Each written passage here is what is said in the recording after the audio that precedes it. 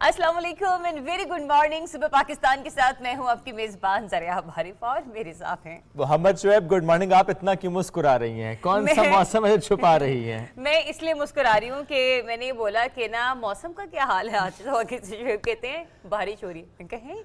कहाँ पे हो रही है? सर आप कहीं तो हो रही होगी। कहीं तो हो रही होगी बारिश तो जहाँ हो रही है बारिश तो उनके लिए। सोचा और आपसे इसलिए पूछा है कि चले मौसम दिन ब दिन चेंज होता चला जा रहा है तो जरा अपने व्यूअर्स को थोड़ी सी अपडेट दे देंगे कि चले इस्लामाबाद का मौसम कैसा चल रहा है या पिंडी का मौसम कैसा है कराची और लाहौर का मौसम कैसा? आप कह रहे हैं बारिश हो रही है। कहीं तो हो रही होगी बारिश आप कहीं तो हो रही होगी बारिश।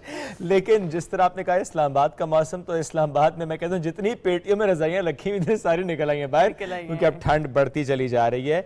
लेकिन एट द सेम टाइम इतना ज़बरदस्त ये मुल्क है कहीं पर ठंड है कहीं पर मौसम अन्य ठंड है कहीं पर बिल्कुल ठंड और इस्लामाबाद का तो मौसम ऐसे आज भी जब मैं सुबह हम लोग सेट पर पहुँचे तो मैं शेब से यही कहती मैंने कहा शेब अब वो मामला नहीं रहे कि आप शलवार कमीज इस ड्रेसिंग के साथ आप प्रोग्राम होस्ट कर सकें क्योंकि यकीन जने जब आपको 6:45 सुबह उठना पड़ता है ना हम्म। और ड्राइव करके ऑफ़िस आना पड़ता है तो उस वक्त हालत बुरी हो जाती है। कह सकते हैं ज़रिया आप गल वध गई है। गल वध गई है गल वध गई है ठंड ठंड जो है वो बढ़ गई है। नहीं ठंड ठंड वाकई पै गई है। चले जी, अब जरा बढ़ते हैं आगे प्रोग्राम में। सबसे पहले एक अच्छी खबर, पाकिस्तानी शायकीन क्रिकेट के लिए अच्छी खबर है कि 2025 में पाकिस्तान चैंपियंस ट्रॉफी की मेज़बानी करेगा। फरवरी 2025 में पाकिस्तान इस मेगा इवेंट की मेज़बानी करेगा। टूर्नामेंट पाकिस्तान में 1996 के बाद आईसीसी का एक बड़ा इवेंट होगा। डेफिनेटली 1996 में पाकिस्तान, भारत और श्रीलंका ने मुश्तर तौर पर इस इवेंट की मेज़बानी की थी। लेकिन अब ये खबर आई है कि पाकिस्तान क्रिकेट बोर्ड के चेयरमैन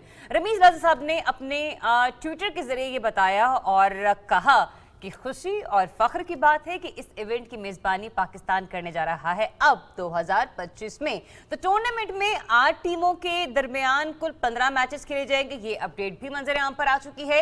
अब ये मैचेस जो हैं वो कहा जा रहा है कि तीन मुख्तलिफ़ मकाम पर खेले जाएँगे। तो अब ये हमने देखना है कि दो हज़ार पच्चीस में जो पाकिस्तान में ये टूर्नामेंट होगा ये इवेंट होगा तो वो कौन से ऐसी जगह हैं जहाँ पर आ, इन मैचेस का आ, के लिए मकाम का इंतखब किया जा सकता है। वैसे शेफ आपकी नज़र में कौन कौन से स्टेडियम हो सकते हैं Karachi Lahore and Rawalpindi that's it Peshawar stadium पर भी तो काम जारी है। मुल्तान का स्टेडियम देखिए तो स्टेडियम बहुत से हैं और एक स्टेडियम तो ऐसा है जो है तो बहुत प्यारा वहाँ पे इंटरनेशनल मैचेस अभी ज़्यादा नहीं हो पा रहे दैट इज़ गवादर स्टेडियम। लेकिन जनरली हम देखते हैं जरा जो इंटरनेशनल क्रिकेट का हम्म। मेला सजता है वो ये नहीं तीन इन्हीं तीन जगह हाँ लेकिन ये ज़रूर हम लोग कह सकते हैं कि टूरिज़्म पॉइंट ऑफ़ व्यू से मतलब ये हम कह रहे हैं गवर्नमेंट हम्म। के अपने मामला हो सकते हैं। वो कहते हैं कि अभी 2025 थोड़ा दूर है। हाँ, बीच में दो से तीन साल आज 2021 हाँ अभी तो तीन चार तो साल हो सकता है वो जो तो कलाम में स्टेडियम बनना है वो भी कंप्लीट हो जाए। पहाड़ों के दामन में वो खूबसूरत सा जो एक ग्राउंड है जिसको स्टेडियम बनना है तो हो सकता है वो भी तैयार हो जाए। तो यू नेवर नो हम कुछ भी कर सकते हैं और जब बात है कि कोई कुछ भी कर सकता है तो ऐसी खबर पास है।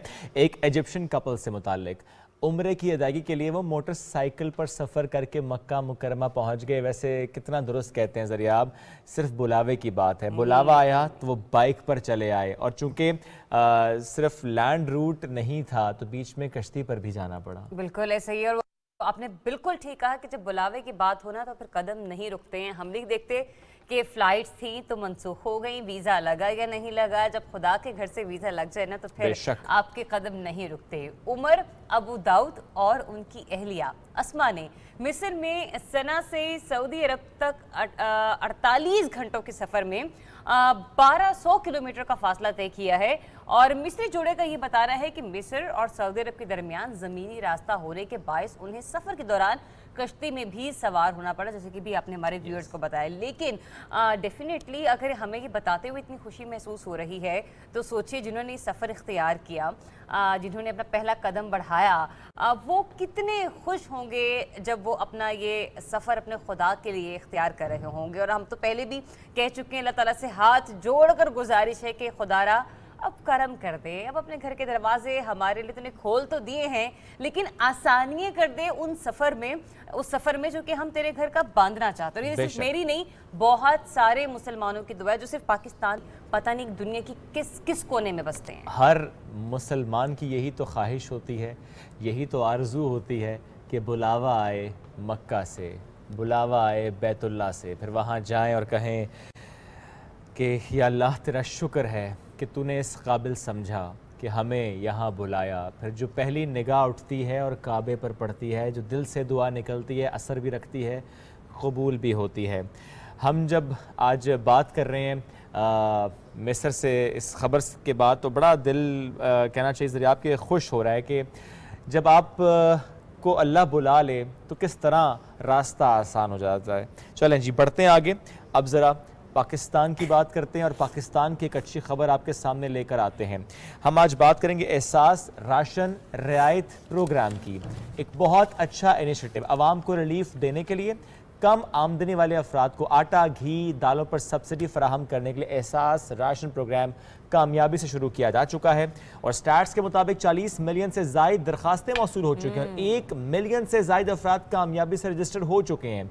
जबकि किराना स्टोर्स की रजिस्ट्रेशन का अमल भी जारी और इसके लिए वजी अजम इमरान खान की मामले खसूसी डॉक्टर साना नश्तर साहिबा शहर शहर आगाही मुहिम बरए एहसास राशन प्रोग्राम रजिस्ट्रेशन में मसरूफ भी दिखाई दे रही हैं। बिल्कुल और उन्होंने सिलसिले में ऐलान भी किया है कि वो इस हफ़्ते तीस शहरों का दौरा करेंगी जहाँ वो करियाना मा, मालिकान जो हैं उनसे ताजरों को इस प्रोग्राम के हवाले से प्रॉपरली ब्रीफ करेंगी। साथ ही साथ हुकूमत ने तेरह करोड़ अफराद को मुस्तफ़ करने के लिए इस प्रोग्राम का आगाज़ किया है। तो तैयार हो जाइए इस सारे निश्तर साहबा। किसी भी वक्त आपके शहर की, किसी भी गली, किसी भी मोहल्ले में आपके पास मौजूद होंगी करियाना स्टोर मालिकान के साथ। और वो जो डिस्ट्रीब्यूशन डिस्ट्रीब्यूटर्स मौजूद होते हैं जिनके अंडर बहुत सारे स्टोर्स आते हैं, जो कि ये सब्सिडी पर दिए गए जो राशन है, उसको आगे डिस्ट्रीब्यूट करने में अपना अहम किरदार अदा कर रहे होते हैं। उनसे भी यहाँ मुलाकात होने वाली है।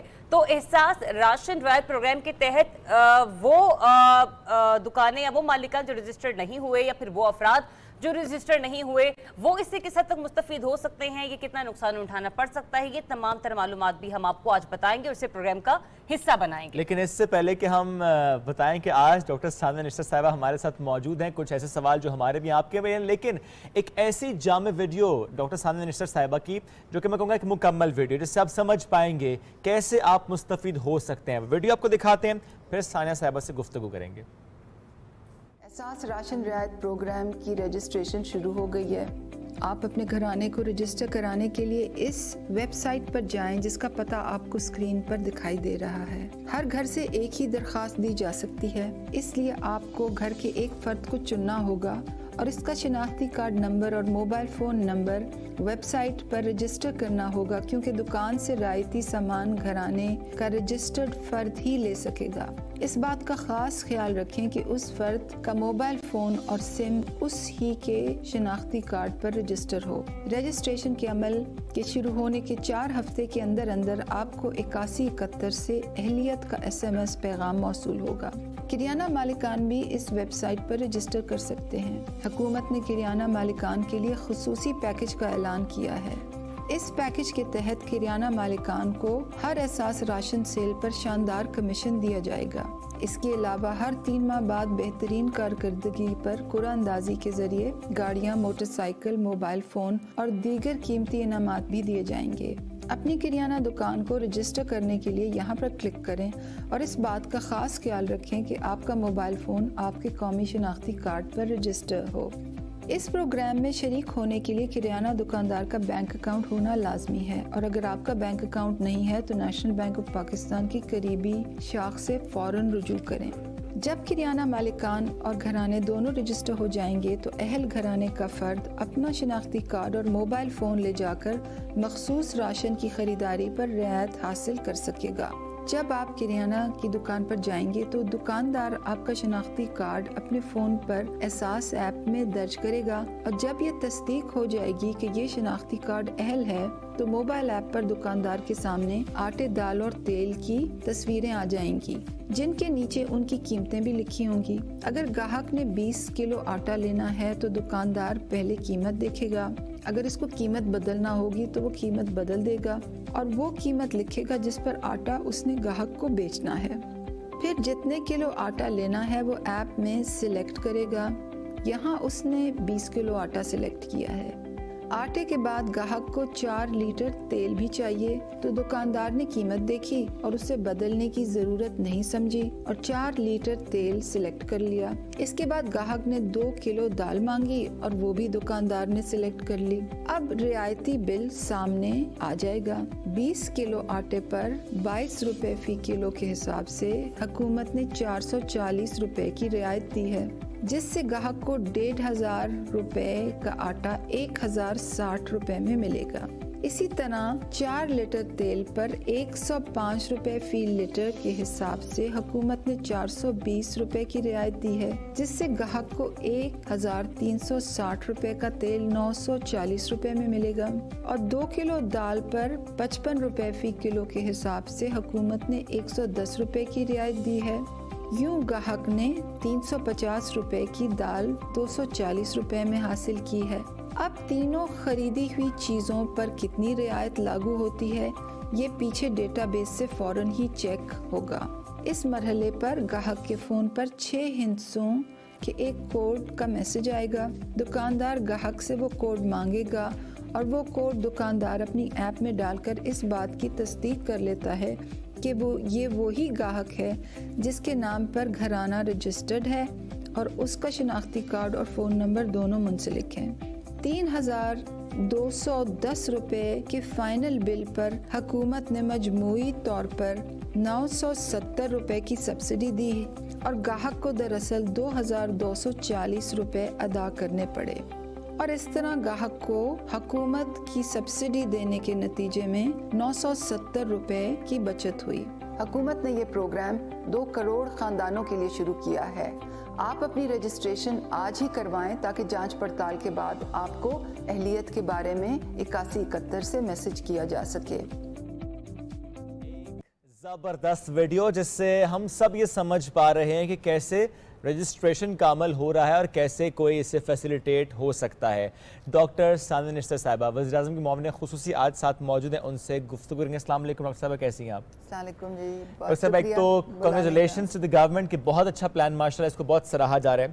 थोड़ा सा बताएँ कि लास्ट टाइम भी जब हमारी नशस्त हुई तो आपने कहा कि गवर्नमेंट ऑलरेडी डाटा इकट्ठा तो कर रही है कि कौन है जो अहलियत जिसकी होनी चाहिए जो इस प्रोग्राम से मुस्तफ़ हो। जब डाटा ऑलरेडी गवर्नमेंट के पास है तो रजिस्ट्रेशन की ज़रूरत क्यों महसूस हुई आपका बहुत अच्छा सवाल है डेटा तो जो पूरे मुल्क का जो कौमी समाजी हम्म। सर्वे है एहसास का वो तो ख़त्म हो चुका है डेटा okay. हमारे पास आ चुका है और आपके तवसत से मैं लोगों को ये भी बताती चलूँ कि जिन लोगों का घर सर्वे से मिस हो गया है okay. उनके लिए हमने डेस्क लगा दिए हैं हर तहसील में फॉर मिसिंग हाउस होल्ड अच्छा अब आपके सवाल की तरफ़ आते हैं हम्म। देखिए हमारे लिए शिनाख्ती कार्ड के नाम पर मोबाइल सिम होना बहुत ज़रूरी है।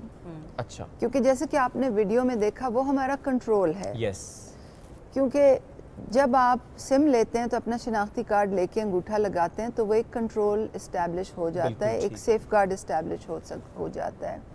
तो जब कोई किरियाना दुकान पर जाएगा रजिस्ट्रेशन के बाद अहलियत की इस्टेब्लिश होने के अमल के बाद तो वो अपना शिनाख्ती कार्ड और मोबाइल फ़ोन लेंगे क्योंकि मोबाइल फ़ोन पे कोड आएगा और उससे तस्दीक होगी। बिल्कुल ऐसे ही है। तो अगर हम ये कंट्रोल ना रखते तो वो तो किसी का भी शिनाख्ती कार्ड कोई भी ले जाता और वो तो और एक फ़ायदा ले सकता और एक बदनवानी का बाज़ार गर्म हो जाता। तो इसलिए हमने क्योंकि हमारे सर्वे में तो वो घर से एक शख्स का मोबाइल फ़ोन लेते हैं हम्म। हमें नहीं मालूम कि वो किस आइडेंटिटी कार्ड पर रजिस्टर्ड है तो इसलिए हमें ये रजिस्ट्रेशन का प्रोसेस शुरू करना पड़ा। तो आपके तवसत से मैं लोगों को ये बताना चाहती हूँ कि जो भी रजिस्टर करे चाहे वो किरियाना मालिकान हो या वो घराने के अफराद हों जो इससे मुस्तफ़ होना चाहते हों वो घर के एक फ़र्द का जो मोबाइल नंबर है जो एक ख़ास शनाख्ती कार्ड पर रजिस्टर्ड हो उससे रजिस्ट्रेशन करें। Okay. क्योंकि अगर वो नहीं करेंगे तो उनको दो हफ़्ते बाद यही मैसेज आएगा कि आपने रजिस्ट्रेशन गलत की थी और ऐसे ही hmm. फिर टाइम वेस्ट होगा। उनको दोबारा से रजिस्ट्रेशन करनी पड़ेगी। मैंडेटरी क्यों है? सीएनआईसी के पे ही वो मोबाइल फ़ोन का रजिस्टर होना ये इतना ज़रूरी क्यों है? क्योंकि जैसे कि आपने वीडियो में देखा hmm. वो सीक्रेट कोड उस पर आएगा। Hmm. तो जब वो शिनाख्ती कार्ड नंबर डालेंगे तो उसी मोबाइल पर सीक्रेट कोड आएगा हम्म।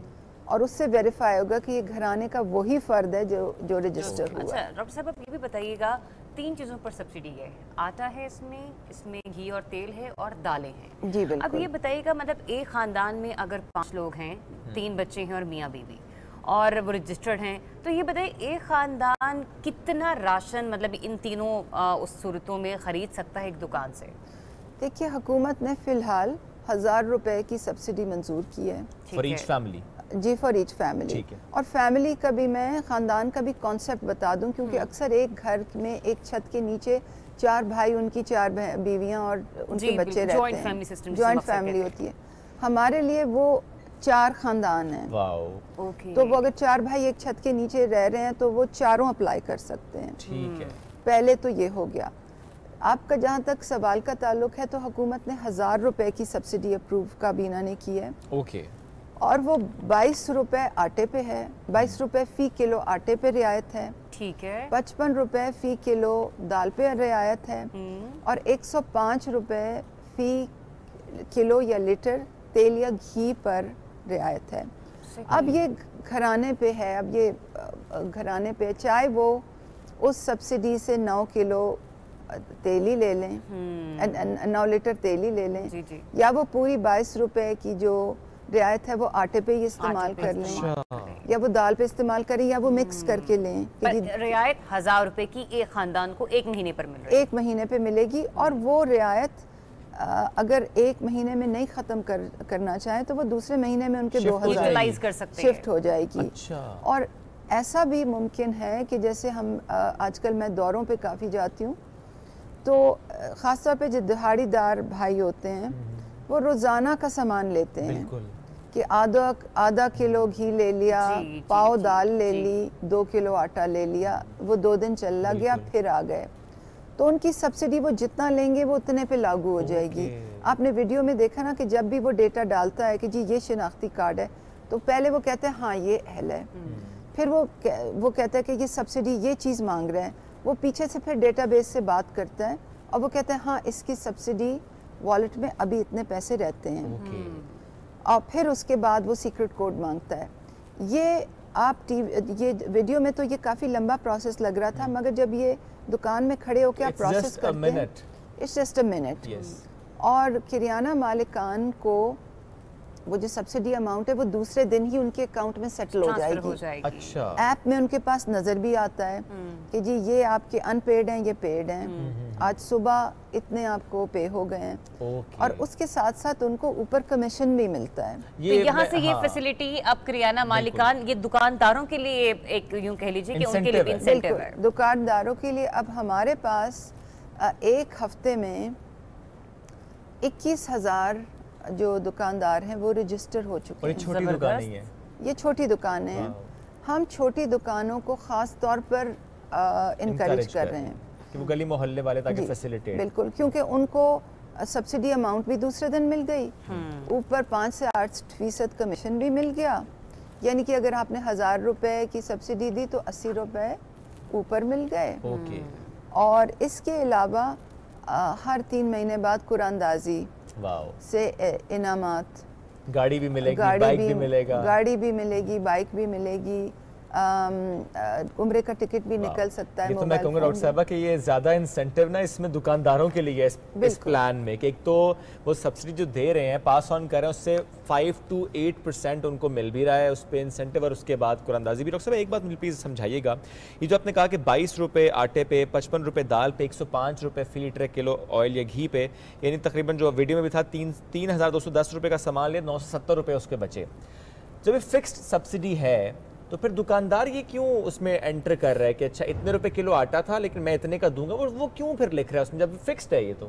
देखिए ये प्राइस रेगुलेशन का निज़ाम नहीं है। ये किरियाना मर्चेंट्स को टैक्स में लाने का निज़ाम नहीं है। क्योंकि वो कितनी सेल कर रहे हैं हमें नहीं मालूम।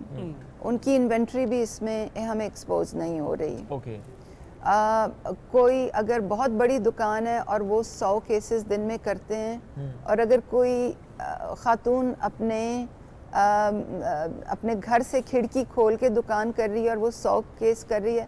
हमें नहीं मालूम कि वो कितनी बड़ी दुकान है उनकी सेल कितनी है। तो ये कोई टैक्स मिल किरियाना मालकान को लाने का निज़ाम नहीं, है।, ये कोई प्राइस रेगुलेशन का निज़ाम भी नहीं है। हम्म। कीमत को कंट्रोल करने के लिए हुकूमत के और निज़ाम हैं। हम्म। जो एसी साहिबान हैं जो डीसी साहिबान हैं उनकी सर्वेलेंस है और हम्म। हमारी उन्हीं पे रिलायंस होगी कि वो दुकान दुकान जाके ये देखें मगर हम सिर्फ़ ये चाहते हैं कि वो हमें ये बता दें कि एक अहल घराने को उन्होंने 22 किलो आटा 10 किलो आटा बेचा है हम्म। जिस पे बाईस रुपए रियायत पीछे से उनको आ, उन, उनको लागू होती है तो ये जो भी इसकी तफसीलात हैं जो भी निज़ाम है हम एक बहुत ही शफाफ तरीके से ये काबीना से हमने अप्रूवल कराई है। और अभी अगले काबीना के इजलास में जो इसकी मज़ीद तफसीलात हैं वो भी ले जा के उसको हम अप्रूव कराएँगे। तो हर चीज़ एक कवायद जवाबित के मुताबिक एक शफाफ तरीके से हो रही है। हम्म। अच्छा। डिज़ाइन इस प्रोग्राम का ऐसा है कि लोग फैसिलिटेट हों बिल्कुल। और छोटे किरियाना को फ़ायदा हो। फ़ायदा। क्योंकि हमारे सर्वे के मुताबिक जो किरियाना मालिकान अक्सर जो किरियाना मालिकान हैं उनकी आमदन तीस हज़ार रुपये फ़ी माह से कम है। हम्म। तो अगर उनको सब्सिडीज़ इनामात मिलेंगे तो ये उनकी भी मुआवनत होगी क्या मैं एक एक चीज़ हाँ। सिर्फ़ और इसमें क्लैरिटी चाह रहा था क्या ये मुमकिन है कि एक दुकान वाला सौ रुपये का आटा बेच रहा हो? मैं एग्जांपल दे रहा हूँ। और दूसरा दुकान वाला एक सौ दस रुपये का आटा बेच रहा हो फिर वो कहेंगे अच्छा इसमें चूँकि मुझे बाईस रुपये सब्सिडी तो उसको कम करके लिखेगा। क्या ऐसा होगा? या कि एक फिक्स्ड अमाउंट होगी जी आटा आपने इतने रुपये किलो ही बेचना है। जी प्राइस जिस पे वो बेचेंगे वो उस पर की इन करेंगे उस वो बताएँगे हम इस प्राइस पर बेच रहे हैं हाँ। और बाईस रुपए सस्ता हम और जब वो रिसीट बना रहे होंगे तब वहाँ पे आ जाएगा कि इन्होंने इतने रुपए आटे पर इतनी सब्सिडी दी और गवर्नमेंट मतलब को मालूम भी हो जाएगा कि किस दुकान पे वो पैसे ज़्यादा महँगा निरखों में बेचा जा रहा है। अच्छा डॉक्टर साहबा ये बताएगा वैसे तो ये जो एहसास प्रोग्राम है प्राइम मिनिस्टर साहब के दिल के इंतहाई करीब है और जब भी वो किसी तकरीब में शिरकत इख्तियार करते हैं तो वो आपके इस प्रोग्राम को बहुत सराहते हैं। शहर शहर जाना और लोगों से जाकर बात करना रिस्पांस देखना, ये बताइएगा, ये आइडिया किसका था? आपकी टीम का आइडिया था, ये खान साहब की रयात थी कि नहीं सानिया साहिबा, अब आपको हर गली गली जाना होगा और देखना होगा कि गरीब किस हालत में फिर रिस्पांस कैसा आ रहा है इसके ऊपर? जी वज़ी अजम साहब तो तमाम काबीना के अरकान को ये हिदायत देते रहते हैं और बहुत और अक्सर देते रहते हैं कि आपका आवाम के साथ रबता होना चाहिए, आपको फ़ील्ड में होना चाहिए। बार बार वो कहते हैं कि अपने प्रोग्राम लोगों को कम्युनिकेट करें क्योंकि लोगों को पता ही नहीं होगा तो वो फ़ायदा कैसे लेंगे? सब्सिडी का प्रोग्राम लाना ये उन्हीं का आइडिया था। आ, पिछले दो साल से वो इस चीज़ को बार बार आ, इसकी ताकीद करते हैं रिव्यूज़ देखते हैं। वज़ी अजम साहब के दिल में वाकई एक गरीब आदमी का दर्द है और उनकी जो भी पॉलिसीज़ हैं और जो भी वो हिदायत हमें देते हैं वो इसी चीज़ की अक्सी करते हैं। कि वो वाकई जेनवनली बिलीव करते हैं कि हुकूमत का जो असल नस्ब लैन है वो गरीब आवाम की खिदमत है। आ, ये जो फ़ील्ड में जाना जो है ये आ, हमें मालूम था कि ये ये हमारी एक कम्युनिकेशन स्ट्रेटजी है कि अगर हम फ़ील्ड में जाते हैं तो आ, लोग मोबलाइज होते हैं। अगर आप फ़ील्ड में नहीं जाएँगे तो लोग मोबलाइज नहीं होंगे। छोटे छोटे शहरों में लोग इश्तहार तो देख लेते हैं। बिल्कुल, बिल्कुल। मगर जब आप फिज़िकली उनके पास एक शहर में चले गए तो एक रिटेलर के पास चले गए तो पूरे बाज़ार में बात फैल, फैल जाती है। फैल जाती कि जी यहाँ कोई हुकूमती एहलकार आया है ये बात बताने के लिए कि ये प्रोग्राम वाकई रियल है ये हम्म, कोई हम्म। आ, ये कोई ऐसा ही कोई मैसेज नहीं है। आ, फ़ील्ड में जाना दुकानदारों से बात करना जो अंजुमन ताजरान हैं उनको ये ये बात कम्युनिकेट करना जो हमारी डिस्ट्रिक्ट एडमिनिस्ट्रेशन है ए सीज डी सीज उनको बताना कि हम्म, आपका हम्म। इसमें रोल कितना अहम है बिल्कुल बिल्कुल बिल्कुल और ख़ास तौर पे नेशनल बैंक के स्टाफ से मिलना हम्म। और और ये पूरे stakeholders on the ground हैं क्योंकि किरियाना मालिकान ने रजिस्टर करना होता है उनके अकाउंट खोलने होते हैं तो नेशनल बैंक का जो स्टाफ है इस दफ़ा वीकेंड पे वो हमारे साथ दो दो दिन मोबिलाइज रहे। Okay. तो ये एक पूरा ऑन द ग्राउंड रिटेलर्स का इकोसिस्टम है और हमारे प्रोग्राम को पर अमल दरामद करने इम्प्लीमेंटेशन का एक इकोसिस्टम है जो आपने मोबिलाइज करना है। Hmm. पाकिस्तान की तकरीबन 500 तहसीलें हैं हज़ारों यूनियन काउंसिल्स हैं। मैं ये नहीं क्लेम करूँगी कि मैं हर हर, हर में जा सकती हूँ। मगर आ, इस हफ़्ते अगर मैं 30 शहरों को टच कर दूँ और और फिर ऑफ़ कोर्स हमारे जो वहाँ पॉलिटिकल वर्कर्स हैं जो पॉलिटिकल कॉलीग्स हैं जो जो बाकी काबीना के अरकान हैं ये ये तमाम हम कोशिश करेंगे कि ज़्यादा से ज़्यादा हम अपनी फ़ील्ड में प्रेजेंस रखें okay. ताकि लोग जल्दी से जल्दी तो मोबिलाइज हों कतर कलामी की माजत क्योंकि मैं इस पहलू को आगे थोड़ा सा लेकर जाना चाह रही हूँ आपने कहा ना कि हम अपने सोशल वर्कर्स या अपने जो पॉलिटिकल पर्सनालिटीज़ हैं उनको कहेंगे कि आप अपने हल्के में इसको इसकी तर्जुमानी करें या लोगों तक ये मैसेज हर जबान जदेआम करें कि गवर्नमेंट ये सब्सिडी आपको देना चाह रही है। वहाँ पर आता आपने जो ज़िक्र किया ए सी और डी का किरदार। इनका भी किसको कहते हैं चेक एंड बैलेंस के लिए मार्केट में अवेलेबल होना बहुत ज़रूरी है। हर जगह जैसे आपने कहा कि आप नहीं जा सकते उसको किस हद तक यकीनी बनाया जाएगा? हमारा जी एक निज़ाम है हम चीफ सेक्रेटरीज़ के साथ मिलकर ए और डी के साथ एक निज़ाम है जूम कॉल्स करते हैं और उनको आगाही भी देते हैं तो अभी वो भी प्लान है. बाकी एहसास प्रोग्राम्स के लिए तो हम करते हैं तो इसके लिए भी प्लान है। और एक और आपके तवसत से मैं बताना चाहती हूँ कि लेटर दिस वीक होपफुली जुमे तक हम इक्यासी इकहत्तर की मैसेजिंग सर्विस भी खोल देंगे। Okay, अभी पोर्टल पे सिर्फ़ हो रहा है? जी अब वेब पोर्ट अभी वेब पोर्टल पे okay. रजिस्ट्रेशन है। किरियाना मालिकान के लिए नहीं किरियाना मालिकान को वेबसाइट से ही रजिस्टर करना. पड़ेगा। मगर आवाम के लिए हम 8171 मैसेजिंग सर्विस खोल रहे हैं। ये बड़ी अच्छी बात है। प्लीज़ इस पर थोड़ा सा बताइएगा कि उस पर क्या आप अपना आईडी कार्ड नंबर भेजेंगे तो अहलियत का मैसेज आएगा या कि रजिस्ट्रेशन होगी? वेब पोर्टल पे अभी आप जाके अपना हम मांगते हैं कि आईडी कार्ड नंबर और आईडी कार्ड नंबर पर रजिस्टर्ड सिम आप डालें। ठीक है। मगर जब हम फ़ील्ड पे गए तो पता चला कि बहुत से लोग कह रहे हैं कि जी आपने जो कोविड के ज़माने में जो इक्यासी कतर चलाई थी वो इसके लिए भी चलाए okay. कल मैं किसी जगह गई एक मीटिंग के लिए तो मुझे तमाम गार्ड्स ने दरवाजे पे रोक लिया और उन्होंने कहा जी आप इसके लिए इक्यासी इकहत्तर ज़रूर करें okay. तो हम कॉन्स्टेंटली फ़ील्ड से पल्स लेते रहते हैं ये जो कि जो प्रोग्राम है एक तो हम अपने इलेक्ट्रॉनिक डैशबोर्ड्स देखते रहते हैं हम्म, हम्म। कि ट्रेंड क्या है? जब हमने पोर्टल खोला तो एकदम सर्ज आया। फिर जो हमारे सर्विस से डेटा हम लेते हैं उसमें फिर आहिस्ता आहिस्ता नीचे आया फिर जब फ़ील्ड विज़िट हुए तो फिर थोड़ा ट्रेंड ऊपर गया। मगर अब हमने काशी कत्तर चलानी है हम्म। क्योंकि उससे जो मोबिलाइजेशन होनी है क्योंकि बहुत से लोग कह रहे हैं हमें नहीं मालूम कि किस तरह वेबसाइट पे वो आसानी हो जाएगी उनके लिए कि उस पर जाकर मैसेज करेंगे। अच्छा मगर मगर सॉरी आपकी बात काट रही हूँ। कल का कल की फिगर ये थी हम्म।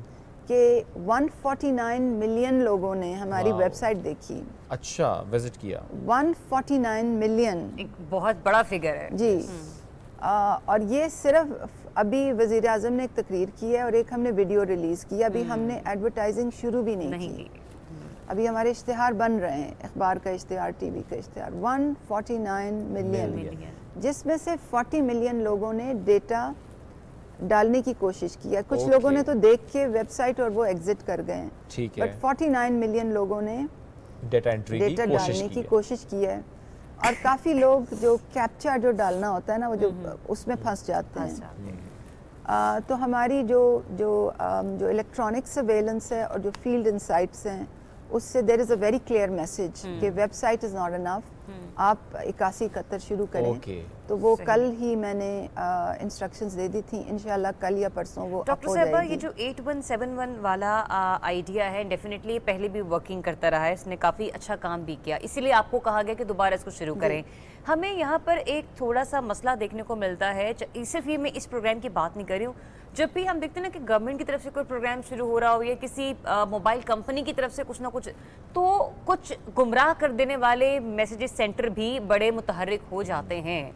खुदा न खास्ता इस मामले को ख़राब करने के लिए या लोग अपनी जेबें गर्म करने के लिए आम लोगों को, उसको कहते हैं कि सादा लोग अफराद को एट वन सेवन वन की तरीके से कोई मैसेज करते हैं। कि उसके लिए भी कोई स्ट्रेटेजी है गवर्नमेंट के पास? बहुत अच्छा आपका सवाल है। देखिए, ये एक जब भी नया प्रोग्राम आता है और ख़ास तौर पे क्योंकि एहसास के बहुत बड़े प्रोग्राम्स हैं तो वो एकदम अटैक आता है। Fake websites fake apps fake SMS मतलब अंदाज़ा करें मुझे मैसेजेस आ रहे होते हैं। जी जी बिल्कुल, मतलब, बिल्कुल। ये अगर और ये, ऐसे बंदर ये खाली ये खाली एहसास का नहीं है। अगर हम्म। कोई बैंक भी अपनी कोई प्राइस स्कीम चलाता है तो क्योंकि ये बदनवान अनासर देखते रहते हैं कि कहाँ कोई बड़ी ऑपरेशन हो रही है। हम्म। कोई बैंक लाता है तो उनके ऊपर हमला हो जाता है एहसास लाता है तो उनके ऊपर हमला हो जाता है। आ, हमने आ, एक तो हमारा रेगुलर रिपोर्टिंग मेकनिज़म है। आ, पिछले फ्राइडे को ही मैंने प्राइम मिनिस्टर सेक्रेटेरिएट में मीटिंग चेयर की थी। उसमें हमने तमाम टेलकोस को बुलाया था एफआईए को बुलाया था सिक्योरिटी इदारों को बुलाया था पीटीए के चेयरमैन को okay. बुलाया था और हमने कुछ नई एसओपीज़ जो हैं वो अग्री की हैं वो नई एस ओ पीज़ फ़ौर ही इम्प्लीमेंट हो जाएँगी हम पीका एक्ट में जो पाकिस्तान इलेक्ट्रॉनिक क्राइम एक्ट है हम्म। उसमें भी मॉडिफिकेशंस प्रपोज कर रहे हैं और उसकी okay. भी समरी बहुत ही जल्द काबीना को भेज दी जाएगी तो आ, बताने का मतलब ये है कि कंट्रोल्स हैं हम्म। मगर बदउनमान अनासर जो हैं उन कंट्रोल्स को सरकमवेंट करने में yes. बड़े तेज़ होते हैं और अब हम अपने कंट्रोल्स मज़ीद टाइट कर रहे हैं। आपके तवसत से मैं लोगों को ये बताना चाहती हूँ कि जब भी एहसास का कोई प्रोग्राम आता है कोई भी रजिस्ट्रेशन स्कीम आती है उसमें आपको कभी ये नहीं कहा जाता कि किसी और नंबर पे फ़ोन करके पैसे दें। एहसास के तमाम जो प्रोग्राम्स हैं वो फ्री ऑफ़ कॉस्ट है उसकी कोई आ, उसमें कोई पैसे नहीं लिए जाते। हम आपसे रजिस्ट्रेशन मांगते हैं। और इक्यासी इकहत्तर से आपको जवाब देते हैं। तो एहसास का मैसेज सिर्फ़ इक्यासी इकहत्तर से आएगा। हम्म। अगर इक्यासी इकहत्तर के अलावा कोई एहसास का मैसेज आया तो प्लीज़ उस पर एक्ट ना करें। और अगर किसी मैसेज में लिखा हो कि जी आप इस नंबर पे फ़ोन करें तो हरगिज़ ना करें वो फेक हम्म। मैसेज है। अगर आपके घर कोई सर्वे टीम आए और वो कहे कि जी हम एहसास की टीम है हमें 2000 दे दें हम आपको 12000 दिलवाएँगे। वो बिल्कुल फेक टीम्स okay. हैं इस वक्त हमारे कोई सर्वे टीम मोबिलाइज नहीं है हमारा सर्वे ख़त्म है। आ, और बिल्कुल इन फेक मैसेजेस पे आप हम्म। तवज्जो ना दें। लास्टली पेट्रोल प्राइसेस जिस तरह हम देख रहे हैं ऊपर जाते हुए तो उसमें कुछ दिन पहले मुजम्मिल असलम साहब ने हमें कहा कि गवर्नमेंट इस पर भी सोच रही है कि बाइक वाले को या जिसको सस्ता पेट्रोल मिलना चाहिए उस पर काम करेगी। तो क्या इस पर भी काम हो रहा है पेट्रोल सस्ता किसी को मिलेगा या नहीं? देखिए पहले तो ये समझना बहुत ज़रूरी है कि जो आ, पेट्रोल की जो प्राइसेस जो ऊपर जा रही हैं वो आलमी मंडी में इंटरनेशनल मार्केट में जो प्राइसेस है उसका एक डायरेक्ट इम्पैक्ट है। Okay. ये कोई हुकूमत अपनी मर्ज़ी से कोई hmm. प्राइसेस ऊपर नहीं बल्कि वो टैक्स भी कम कर रही है जी बिल्कुल बिल्कुल। और आ, इसकी क्लैरिफिकेशन मिनिस्ट्री ऑफ़ फाइनेंस से आती रहती हैं। और दुनिया के हर तकरीबन हर मुल्क में ये प्राइसेस ऊपर जा रही हैं।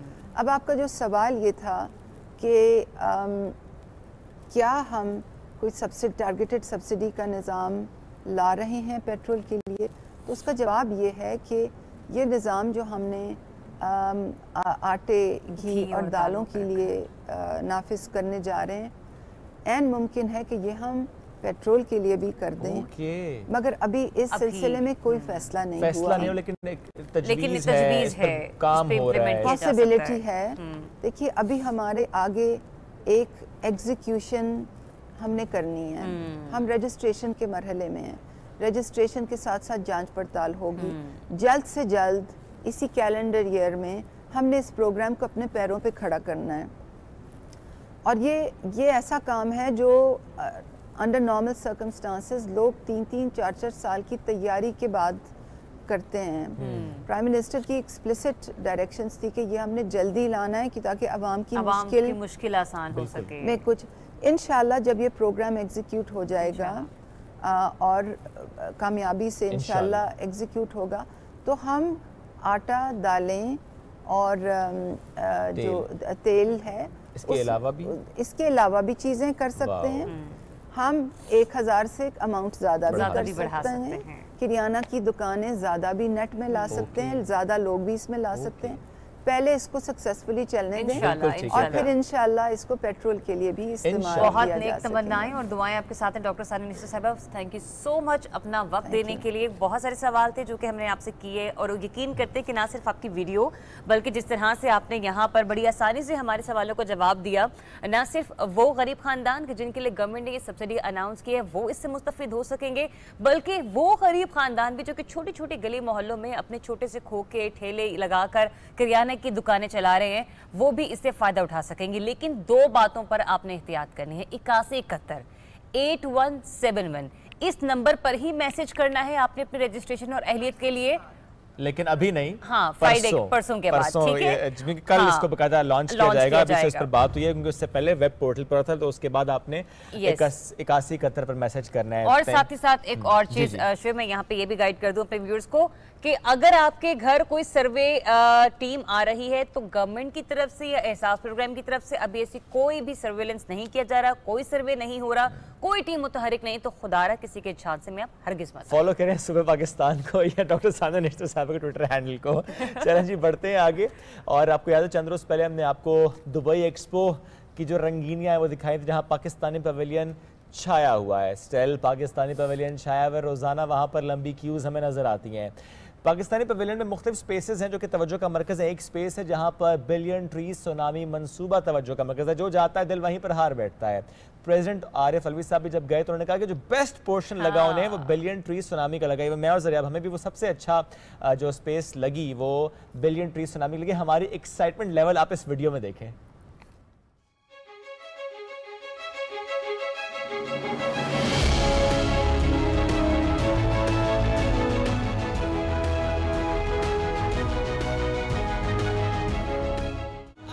साथ बिलियन ट्री सोनामी पाकिस्तान जिस मामले में लीड ले रहा है, जिसकी तारीफ़ बोरिस जॉनसन करते हैं, जिसकी तारीफ़ इदारे करते हैं, मुल्क करते हैं बिलियन ट्री प्रोजेक्ट उसमें लेकर चल रहे हैं हम। क्या बात है। The best portion the best part the lasers और ऐसे आप करें, क्या आवाज़ें, ओए होए फौज आई है। ज़बरदस्त ज़बरदस्त। आगे आते चले जाएँ। दिल करता है, इन दरख्तों में यूँ भागते चले जाएँ। इन दरख्तों में खो जाएँ। ज़रिए आप लिटरली दिल कर रहे कि इन दरख्तों में चले जाइए इन एक्चुअल लगते हैं दरख्त। पाकिस्तान के बिलियन ट्री सुनामी का खूबसूरत मंजर है। और देखिए नीचे की तरफ़ महसूस ऐसा होता है कि शायद आप पानी में खड़े हैं yes. लेकिन हम पानी में नहीं हैं। ये वो वर्चुअल एस्पेक्ट्स हैं जो कि लेजर लाइट्स के थ्रू यहाँ पर वर्चुअली डिस्क्राइब किए जा रहे हैं। yes. और जब यहाँ से टर्न करते हैं आप towards this side how beautiful is that ये देखिए लेजर्स और अभी जब इसको हम टच करेंगे तो परिंदों के चहचहाने की आवाज़ें भी आती हैं। लगता है परिंदे सो रहे हैं। No they are awake okay परिंदे जाग रहे हैं। चले जी। और यहाँ से फिर हम निकल जाते हैं एक और जानब। वाह बैम्बू स्टिक्स हैंग हो रही हैं, नीचे लेजर लाइट्स हैं। Amazing and the selection of green colour wow वाह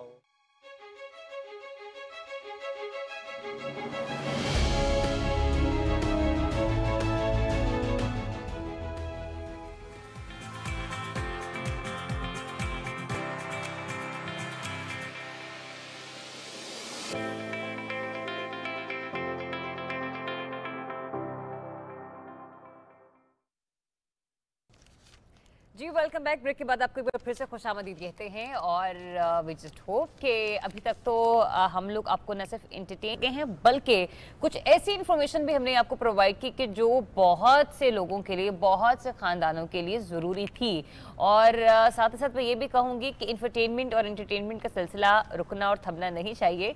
इसलिए साथ ही साथ आपकी uh, रहनुमाई के लिए स्पेशली छोटे बच्चों के हवाले से भी आज हमारा एक सेगमेंट है उस पर भी हम बात करने exactly जी। बच्चों की बात आपने की है तो सबसे पहले शुएब एक्साइटेड होते हैं। नहीं मैं एक्साइटेड नहीं होता लेकिन हाँ मैं बच्चों से मुतालिक ज़्यादा जानना चाहता हूँ। ये इस बारे में पढ़ता भी ज़्यादा है वालदेन जो है हमेशा से कोशिश होती है बच्चों से मुतालिक ज़्यादा जान पाऊँ चाहे हेल्थ से मुतालिक हो वो चाहे एजुकेशन के मैदान में हो। हाँ। तो आज हम जिस टॉपिक पर बात करेंगे दैट इज़ एक्जिमा एक स्किन का इन्फेक्शन कह लें आप इसको हर तीन में से एक बच्चा इससे मुतासर होता है एक ऐसी कंडीशन है और ये ट्रीटेबल है। हम्म। लेकिन उसमें मसला कहाँ पर आता है जब डायग्नोज नहीं होता? तो आज हम इसको समझने की कोशिश करेंगे ये टॉपिक डेमाटाइटिस इन एक्जिमा ये है क्या? अलामत क्या होती हैं? ट्रीटमेंट इसका क्या है? डायग्नोसिस का कैसे होता है? डॉक्टर अमजद खान साहब आज हमारे साथ मौजूद हैं। अल्लाम गुड मॉर्निंग अस्सलाम कैसे हैं आप? बहुत शुक्रिया सर सबसे पहले थोड़ा सा आसान करके बताएँ कि जिस तरह मैंने कहा कि हर तीन में से एक बच्चा पाकिस्तानी केस में इससे मुतासर है तकरीबन पंद्रह से बीस फ़ीसद आबादी दुनिया की इससे मुतासर होती है एक ऐसी कंडीशन है। तो अलामत क्या होती हैं? होता क्यों है? फैक्टर्स क्या होते हैं जो कंट्रीब्यूटिंग होते हैं इसकी तरफ़ या कैटलिस्ट कह लें इसको आप और फिर ट्रीटमेंट पे आएँगे? जी बिल्कुल बहुत शुक्रिया। आपने बिल्कुल सही कहा एक्जिमा स्किन कंडीशन में जितनी बीमारियाँ हैं उसमें सबसे ज़्यादा कॉमन है। हम्म। पाकिस्तान में आ, हर तीन में से एक बच्चे को यानी okay. और इंटरनेशनली भी यही ट्रू है। आ, इसमें यह है कि इसमें जेनेटिक इन्फ्लुएंस होता है। आ, कुछ फैमिलीज़ का जेनेटिक मेकअप इस तरह है। मगर इसके अलावा इन्वायरमेंटल फैक्टर्स भी होते हैं इसलिए इसको हम मल्टी फैक्टोरियल कहते हैं। इसमें यह है कि इमीडिएट टेम्परेचर चेंज गर्मी से एकदम सर्दी हो जाए सर्दी से गर्मी हो जाए मौसम बदल जाए। वार्म वेदर ट्रिगर करता है इसको। अच्छा। इसके अलावा अगर वार्म बात यानी अगर कई दफ़ा हम ये करते हैं सर्दियाँ होती हैं बच्चे को बड़े गर्म पानी से नहला दिया उससे वो फ्लेयर अप हो जाता है स्किन ड्राई होनी शुरू हो जाती है।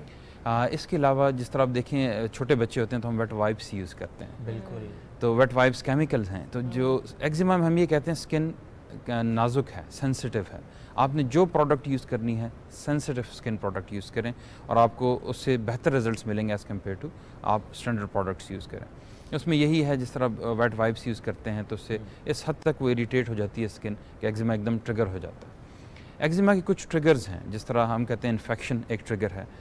केमिकल इरीटेशन जिस तरह आपने सख्त साबुन यूज़ किया या ये जो नॉन सेंसिटिव प्रोडक्ट्स यूज़ किए इसके अलावा अगर जनरली हम अगर बच्चा अंडर द वेदर है नज़ला ज़ुकाम खांसी कोई और बीमारी चल रही है तो हमारा जो कुत मुदाफ़त है इम्यून सिस्टम वो बेसिकली उसकी अटेंशन डाइवर्टेड होती है उस बीमारी से फाइटिंग के लिए या okay. उससे उसके अगेंस्ट काम करने के लिए।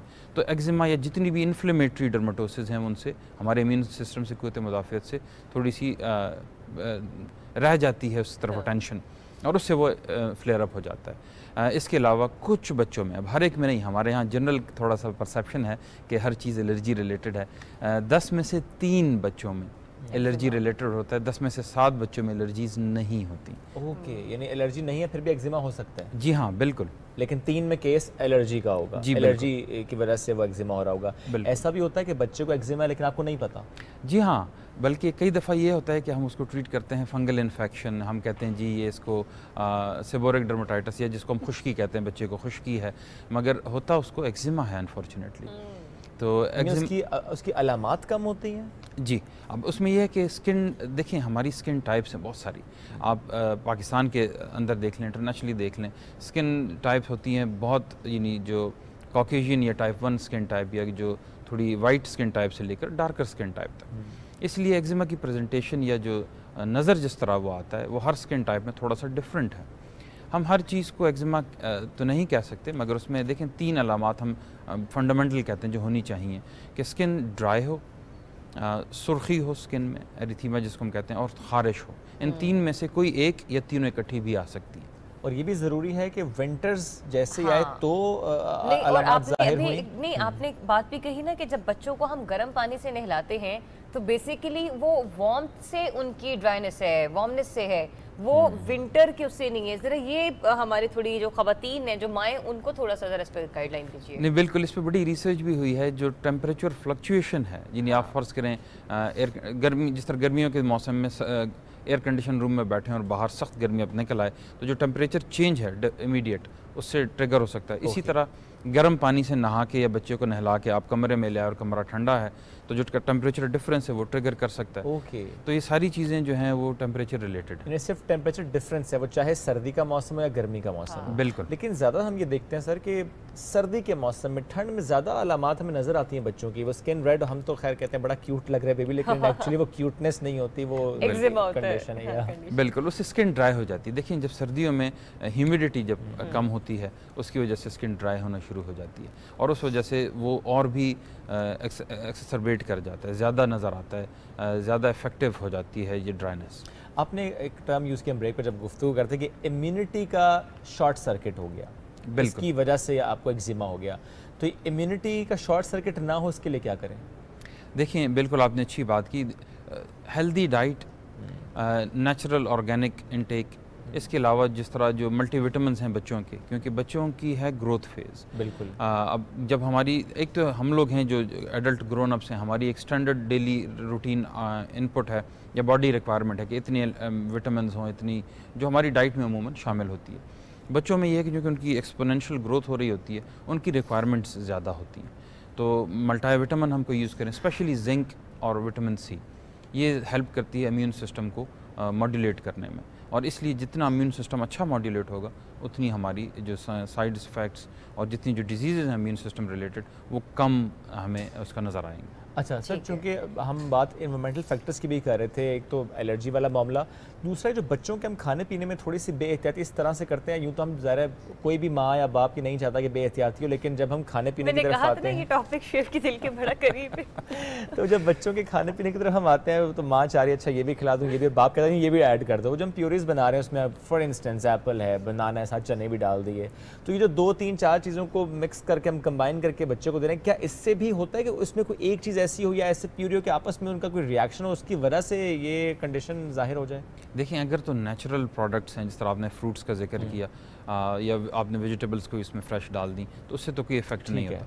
जो एक्सीपियंट्स है जिसको हम कहते हैं केमिकल्स ऐड करते हैं हम जो कमर्शियली प्रिपेयर्ड फ़ूड आते हैं उसमें ऑब्वियसली शेल्फ लाइफ एक्सटेंड करने के लिए थोड़े से एक्सीपियंट्स केमिकल्स डालते हैं। उससे हो सकता है अनफॉर्चुनेटली हम्म। इसीलिए अगर आप बाहर ममालिक में जाएँ तो जो बच्चों की प्रोडक्ट्स हैं उनकी शेल्फ लाइफ थोड़ी होती है क्योंकि उसमें वो केमिकल्स थोड़े डालते हैं नहीं डालते सही सही तो दूसरा ये है कि ऑर्गेनिक फ़ूड अब वहाँ बाहर ममालिक में देखें तो जो बच्चों के प्रोडक्ट्स उसमें मेजोरिटी में ऑर्गेनिक लिखा होता है कि जिस तरह वो जो इवन जो सब्ज़ियाँ या फ्रूट जो ग्रो करते हैं हम्म। उसमें वो केमिकल्स या कम यूज़ करते हैं या नहीं यूज़ करते अगर डायग्नोसिस अच्छा, ना हो हाँ। और फिर ट्रीटमेंट भी ना हो तो एक्सट्रीम क्या कंडीशन होती है?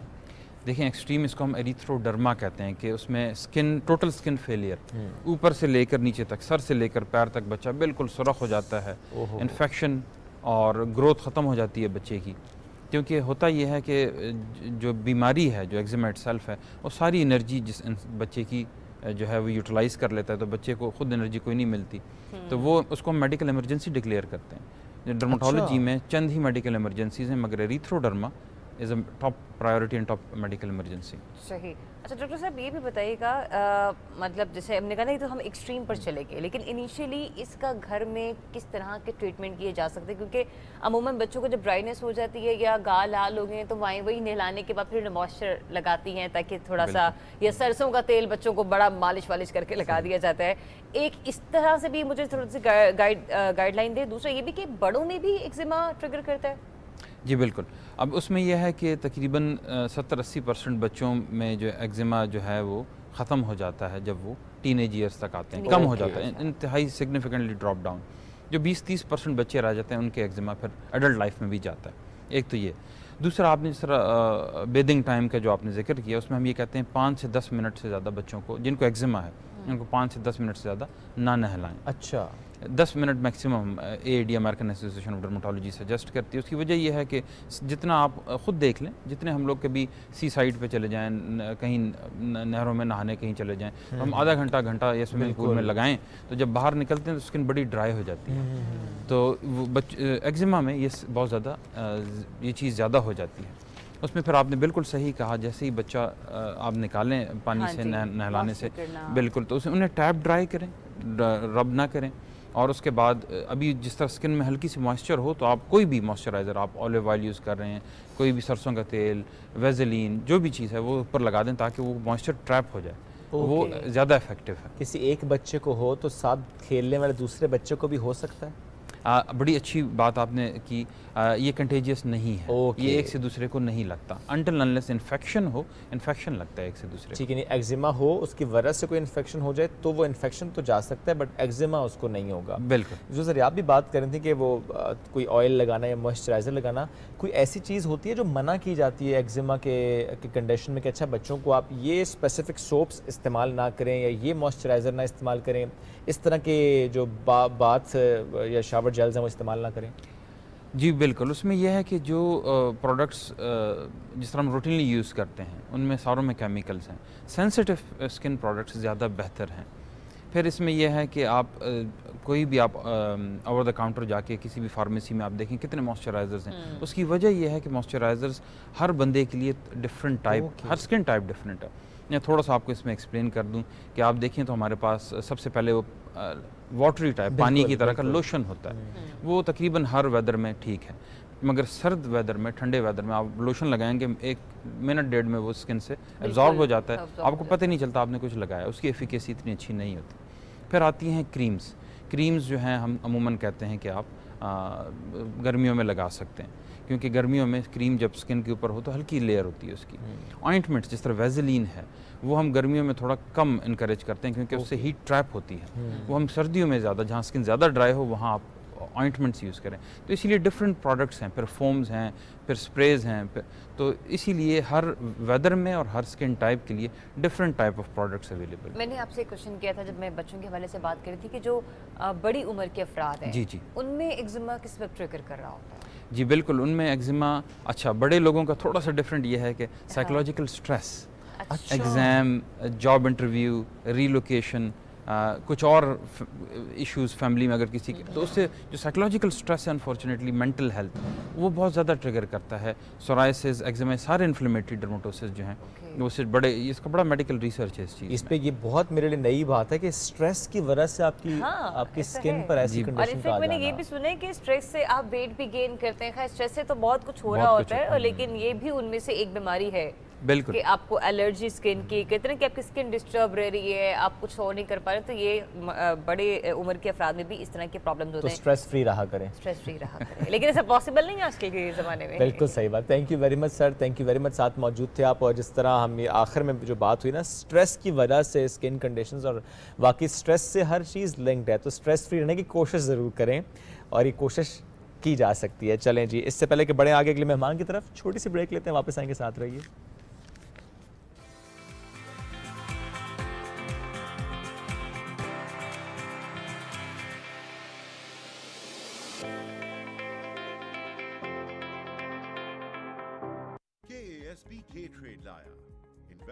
सहूलत तमाम पाकिस्तानियों के लिए। अब पाकिस्तान स्टॉक मार्केट में आप पाकिस्तान की टॉप कंपनीज़ के हिस्सेदार बन सकते हैं। वो भी निहायत ही आसान तरीके से। बस के ट्रेड ऐप डाउनलोड करें और पाएँ रिसर्च पोर्टल तक रसाई सबसे कम चार्जेस और घर बैठे पाएँ। बेहतरीन सरमायाकारी का मौका। कहीं भी, कभी भी। के एस पी के ट्रेड अब इन्वेस्टमेंट करे हर कोई।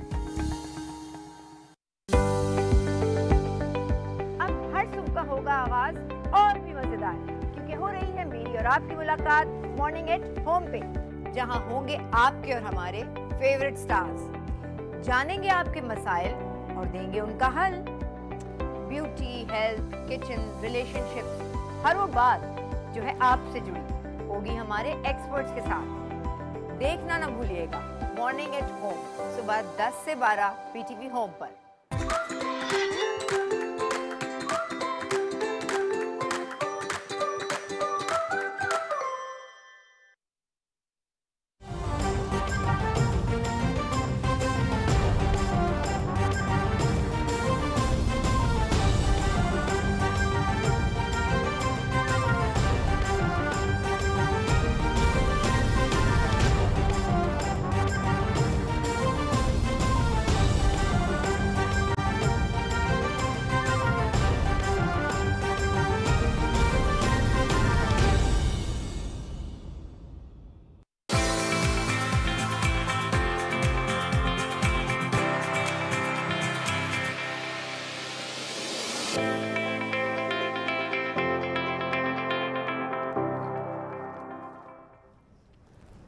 जी वेलकम बैक ब्रेक के बाद आपको एक बार फिर से खुश आमदीद कहते हैं। ब्रेक से जाने से पहले हम बहुत एलर्जी एलर्जी कर रहे थे तो मुझे लग रहा है कि आने के बाद मुझे थोड़ी सी एलर्जी हो गई है।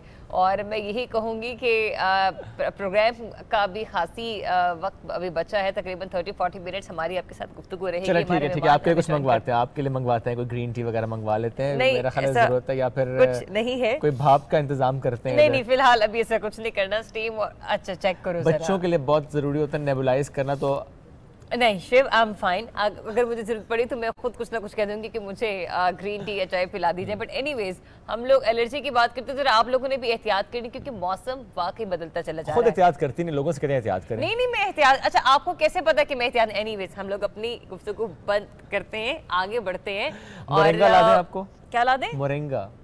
मोरिंगा। मोरिंगा लीव्स का पाउडर बड़ा अच्छा होता है।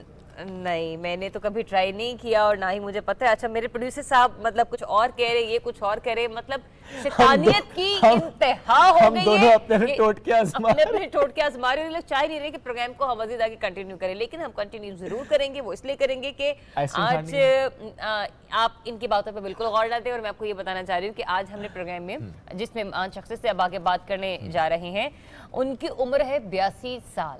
लेकिन अभी भी अगर हम उन्हें कहें कि इज़ ए स्टूडेंट तो मेरे ख्याल से आपके लिए और हमारे लिए बहुत एक कहते हैं कि ताजुब की yes. बात होगी लेकिन पाकिस्तान के दिल लाहौर से उनका ताल्लुक है इसीलिए उनका दिल उनका हौसला और उनका जज्बा जवान है। अब आकर वो अपनी स्टडी को कंटिन्यू कर रहे हैं और एलएलबी पास कर चुके हैं माशाल्लाह। ज़बरदस्त। बयासी साल अब्दुल रहमान साहब मैं कहता हूँ छा गए आपके। लोग तो अगर एक दो साल का भी ब्रेक आ जाए स्टडीज़ में वो मास्टर्स एम के बाद तो कंटिन्यू नहीं कर पाते। लेकिन आपने माशा सर कैसे हैं आप?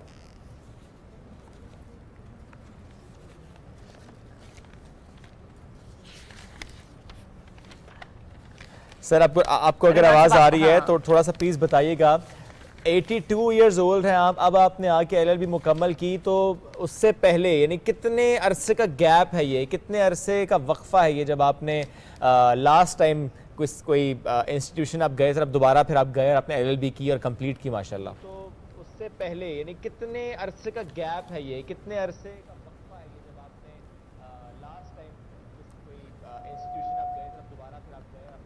की और कंप्लीट की शायद रहमान साहब तक हमारी आवाज़ नहीं पहुँच पा रही है। पहुँच रही है। अच्छा दूसरा ये भी कि काइंडली स्टूडियो का स्पीकर का वॉल्यूम थोड़ा बढ़ा दीजिए ताकि जब वो बात करें तो हमें मालूम हो सके। सुन नहीं सका। जी प्लीज़ जी जी सर आपको अगर आवाज़ आ रही है तो प्लीज़ बताइए। जी सवाल ही नहीं सुना मैंने सर मैं आपसे जानना चाह रहा था एक तो मुबारकबाद आपने माशाल्लाह एलएलबी किया बयासी साल उम्र में। थोड़ा सा प्लीज़ बताएँ, कितने अरसे का वक्फा रहा? लास्ट टाइम कब गए थे किसी इंस्टीट्यूशन में और फिर दोबारा गए? इरादा कैसे बना कि कंटिन्यू करना एल एल बी करना आवाज़ नहीं आ रही मुझे, कोई सवाल। चले हमारे मेहमान को तो आवाज़ नहीं आ रही। हम कोशिश करते हैं कि दोबारा उनसे रबता कर सकें। तब तक आप ये टेक्निकल मामला जो प्रोड्यूसर साहब संभालिए हम ऐसा करते हैं कि अपने दूसरे मेहमान की तरफ़ चलते हैं क्योंकि वो हमारे पास स्टूडियो में हमारे साथ मौजूद हैं बगैर इंतज़ार करवाए। और कहते हैं कि इंतज़ार करना किसी को करवाना हम्म। अच्छा नहीं होता। तो लिहाजा हम अपने अगले मेहमान का तारुफ आपसे करवाते हैं। तो आज सुबह पाकिस्तान के सेलिब्रिटी लाउंज में हमारे साथ मौजूद होंगे। सेनेटर जिशान खानजादा साहब के पी के का ताल्लुक है। पाकिस्तान तहरीक इंसाफ के टिकट पर मार्च 2021 के सेनेट इंतबात में कामयाबी हासिल करके सेनेटर मुंतब हुए हैं और सेनेट की कायमा कमेटी बरए कॉमर्स के चेयरमैन के तौर पर अपने खदमात सर अंजाम दे रहे हैं। तो कहीं नहीं है बिल्कुल हमारे सामने वाले सोफे पर हैं सेनेटर जिशान खानजादा साहब। असला and very good morning sir सबसे पहले मुझे बताएँ आपकी एज कितनी है? छत्तीस नहीं मतलब और कम लग रहे हैं। वेरी यंग माशाल्लाह। क्या राज है? बस रास तो कोई नहीं है जी बड़ी बड़ा मुश्किल काम है सियासत में रह के हम्म। और फिर अपने आप को मेंटेन करना। लेकिन मुझे लगता है नेचुरली है मैं तो इतनी अच्छा, कोशिश नहीं करता। जिम भी जाते हैं? हाँ देखें ज़रूरी तो है ना ये चीज़ें अच्छा। तो ज़िंदगी में चाहिए होती हैं आपकी। फ़िज़िकल हेल्थ और मेंटल हेल्थ जो है ना ये दोनों बड़ी ज़रूरी हैं। सही तो हम लोग ये तो सुना करते थे कि हमारा प्राइम मिनिस्टर बड़ा हैंडसम है बड़ा अच्छा लेकिन उनके तो कैबिनेट के मेंबर और सेनेटर्स भी उन्होंने बड़े चुन चुन के रखे हुए हैं। देखे ना हम तो उन्हीं के राह में चल रहे हैं हर एक बात पे तो सिर्फ़ सियासी तौर पर नहीं बाकी भी अगर देखें उनकी पर्सनैलिटी और हम्म। पूरे पाकिस्तान में जो है ना तो यूथ स्पेशली जो है तो उनको फॉलो कर रही है। जिनमें से मैं भी एक हूँ। सर मतलब माशा इतना आप यंग लगते हैं कभी ऐसा होता है आई एम श्योर ऐसा होता है कहीं पे जाके अगर आपको तारफ कराना पड़ जाए सेनेटर तो लोग पूछे हैं? वाकई? हाँ ये ये बात आपकी सही है। आ, ये अक्सर जो है तो ये आ, मतलब ये, ये इस तरह का रिस्पॉन्स हाँ जी हाँ ये हाँ। चीज़ होती है।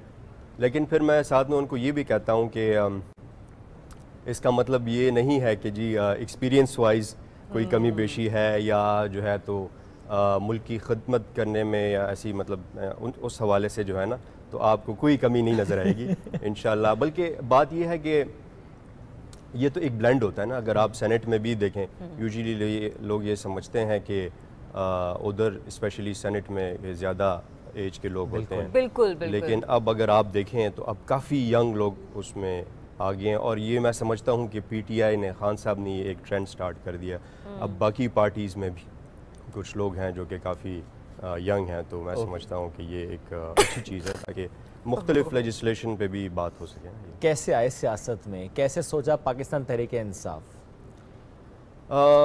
मैं अगर आपको सही बात बताऊँ तो आ, मैं एक पॉलिटिकल फैमिली से ताल्लुक़ रखता हूँ। मेरे मेरी फैमिली जो है तो उनकी वाबस्तगी पीपल्स पार्टी से थी okay. काफ़ी अरसे से 20-40 साल से भुट्टो साहब के ज़माने से। और उसके बाद जो है मैंने अपनी पढ़ाई की बाहर कनाडा से मैंने बैचलर्स किया। अच्छा माशा और फिर पाकिस्तान आया। उस टाइम पे भी मुझे थोड़ा बहुत शौक़ था पॉलिटिक्स का। हम्म। बल्कि मैंने उधर जाके तो स्टूडेंट इलेक्शंस में मैंने उधर हिस्सा लिया हाँ जी। और अल्लाह ने कामयाबी दी उसमें। तो उससे भी सीखा। आम, लेकिन जब मैं पाकिस्तान आया तो ज़ाहरी बात है मतलब वो देख के कि भाई क्या करना है किस तरह से अब एक ऐसी एज होती है कि आप डबल माइंडेड होते हैं। आ, तो फिर करते करते आम, खान साहब जिस तरह से फिर ग्रेजुअली उनकी आ, वो मैं समझता हूँ कि पार्टी ने भी ग्रो किया पार्टी ने ग्रो किया और, और खान साहब ने जैसे लोगों के दिल में उन्होंने ग्रो किया बच्चे बच्चे के दिल में स्पेशली यूथ का जो मैं आपको कह रहा हूँ। तो बस आ, मेरा भी फिर उस तरफ़ रुझान ज़्यादा चलने लग गया कि मुल्क की कुछ खिदमत करनी चाहिए और तो जब पाकिस्तान तहरीक इंसाफ का ख्याल दिल में आ गया इस तरह रच बस गया तो क्या फैमिली की तरफ़ से कोई ऐसा मामला था कि नहीं नहीं? Why P T I Peoples Party के साथ ही ये तो ये तो मैं समझता हूँ कि मेरा एक बहुत बड़ा स्ट्रगल था। अच्छा ये लड़ाई झगड़े हुए। हाँ विद इन द फैमिली आप कह सकते हैं कि मैं बड़े अरसे से रिबेलियस बस आप बिल्कुल लेकिन देखें बात यह है कि हर एज क्या ना एक एक डिफरेंट आप समझ लें कि पॉलिटिक्स होती है एक हाँ जी रिक्वायरमेंट्स होते हैं। अब जिस तरह से ये आजकल की ज़िंदगी है आजकल की दुनिया है अब अगर कोरोना में आप देख लें किस तरह की चीज़ें चेंज हो गई हैं तो इस तरह से सियासत भी उस लिहाज से और हाँ जी हाँ। तो मैं ये समझता हूँ कि मैंने ये फ़ैसला किया और एक टाइम था जब मैं सीख रहा था और जब मैं सीख गया मुझे समझ आई तो बस फिर मैंने फैमिली को कहा कि जी अच्छा आपने कहा कि अब बाहर से आपने बैचलर्स अपना कंप्लीट किया तो वहाँ पर अभी आपने स्टूडेंट पॉलिटिक्स में पार्टिसिपेट किया इलेक्शन लड़े और जी, जीते भी वहाँ पे। जी, जी. पाकिस्तान में ये कॉन्सेप्ट बहुत कम तो नहीं मैं कहूँगी शायद ख़त्म ही हो गया ये ट्रेंड स्टूडेंट पॉलिटिक्स वाला ये जो इलेक्शन होते हैं या जो तंजीमें बना करती थी। एक दौर होता था हमारे बहुत सारे ऐसे चाहे वो खान का ताल्लुक पाकिस्तान मुस्लिम लीग नून से हो पाकिस्तान पीपल्स पार्टी से हो और अब पीटीआई में भी कुछ ऐसे लोग हैं जिन्होंने स्टूडेंट पॉलिटिक्स से अपना करियर स्टार्ट किया। आपको लगता है कि पाकिस्तान में भी इस तरह का अब ट्रेंड एक बार फिर से मतलब यानी कि आना चाहिए स्टूडेंट पॉलिटिक्स को हिस्सा बनना चाहिए? ये आपने बड़ा अच्छा सवाल किया और मैं समझता हूँ कि मेरा भी अगर सियासी तौर पे मैं ये समझता हूँ कि जो हमारी सियासत है आ, इसको एक तरह से चेंज इस तरह होना चाहिए कि हमारी आवाम जो है उनको पता नहीं होता कि हमें बेसिकली एक लॉ मेकर से एक एमएनए से एक एमपीए से हमें करवाना क्या है हमें काम क्या चाहिए उनसे हम्म। हम जो हैं तो अपने M P As M N A से जो भी हैं उनसे हम कहते हैं जी ट्रांसफार्मर लगवाएँ आप हमारे लिए गलियाँ बनवाएँ। ये इस तरह से डेवलपमेंट वाला काम जो जो नाजिम का है जो कि लोकल बॉडी उसके लिए एम पी और एम एन एस की तरफ़ देखते हैं। तो ये देखें ये चीज़ें जो है ना तो ये तभी होगा जबकि स्टूडेंट्स जो जो कि अभी यूथ है उनको ये चीज़ें समझ आएँ जब वो इस तरह से उनको ये नॉलेज आएगी जब हाँ, हाँ। तो ये ये आगे फिर जाके कुछ हम इसमें इम्प्रूवमेंट ला सकते हैं और तभी जाके हमारी लेजिस्लेशन पे कुछ काम हो क्योंकि अब तो वही बात है ना कि लेजिस्लेशन पे काम मैं आ, मतलब बड़ा इस बात पे जाके बड़ा मैं मायूस हो जाता हूँ कि जी उस पर काम कम हो रहा होता है और बाकी चीज़ों पे कि जी हमें इतने फ़ंड्स चाहिए हमें ये चाहिए हमें वो चाहिए। तो एटलीस्ट चलें सेनेट में जो है तो बड़ा ही लेजिस्लेशन के ऊपर काफ़ी काम हो रहा होता है हम्म। और इस पर बड़ी मतलब ये एक अच्छी बात है सेनेटर बनने के लिए पैसा लगाया या उसके बाद पैसा कमाया। अच्छा तो इसमें मैं आपको आ, कौन सा जवाब दूँ? सियासी जवाब दूँ? सच्चा जवाब दें। नहीं नहीं जी आ, ये तो देखें आ, हर इंसान का मैं समझता हूँ कि एक एक सोच होती है। हम्म। और वो सोच जो है ना देखें इसमें लीडरशिप का बड़ा कमाल होता है। और अगर पिछली हुकूमतों में या पिछले जो हमारे जितने भी अगर कोई पार्लियामेंटेरियंस थे अगर उन्होंने ऐसे कुछ काम किए या इस तरह की उनकी सोच होती थी तो ये तो उनकी लीडरशिप का मसला था। हम्म। बिल्कुल। अब हमारी लीडरशिप तो पूरी पूरे पाकिस्तान को नहीं पूरी दुनिया को पता है कि इमरान खान किस तरह का बिल्कुल। तो हमारे उसमें तो जी बस सिर्फ़ जो है मुल्क के लिए सोचना है हम्म। और इन इस मुल्क के लिए आगे सोचेंगे इसी में बेहतरी लेकर आएँगे जो भी हमारी चीज़ें हैं जो हमारे लिमिटेड रिसोर्स हैं इसी में काम करेंगे इसी सिस्टम में काम करके इसको हम्म। ठीक करना है हम्म। इसको कोई बाहर से ठीक नहीं कर सकता अगर मैं कहता अच्छा, कि जवाब हाँ। सियासी दें तो फिर जवाब क्या होता तो भी जवाब मुझे लगता है यही होता आ, नहीं बस देखे ना सियासी जवाब तो फिर वो वो तो फिर मैं यही कहता next question pass pass on pass on अच्छा सेनेट में हम लोग देखते हैं कि लेजिस्लेशन पे डेफिनेटली काम हो रहा था। बड़े बड़े बिल वहाँ पर पास करने के लिए भेजे जाते हैं। और अभी भी आपको पता है कुछ कहा जा रहा है कि आज भी कुछ बिलों की मंजूरी हाँ होने हाँ। वाली है। और बड़े इंपॉर्टेंट बिल है ईवीएम के हवाले से दूसरे बिल हैं और फिर इंतबी असलाहत वगैरह के हवाले से भी बिल रखे गए हैं। चीज़ें जब सेनेट से पास हो जाती हैं इस कदर लेजिस्लेशन के बाद फंस जाती है आके पार्लियामेंट के मुश्तर इजलास में। वहाँ पे सेनेटर क्या सोचता है फिर? नहीं असल में ये एक थोड़ा सा मिसकनसेप्शन है। बात यह है कि अब पीटीआई और एलाइज जो हैं हमारी मेजॉरिटी वो तो नेशनल असम्बली में है। हाँ। नेशनल असम्बली से बिल हमारे पास हो जाते हैं। यूजुअली सेनेट में आके वो फंस जाते हैं कि उधर हमारी मेजॉरिटी उस लिहाज से कम है। और फिर ये है कि जिस तरह आपने कहा फिर उस चीज़ को जो है तो जॉइंट सेशन जॉइंट सिटिंग में लेके हम्म। जाना पड़ता है जो कि देखें ना ये भी एक अच्छी बात नहीं है।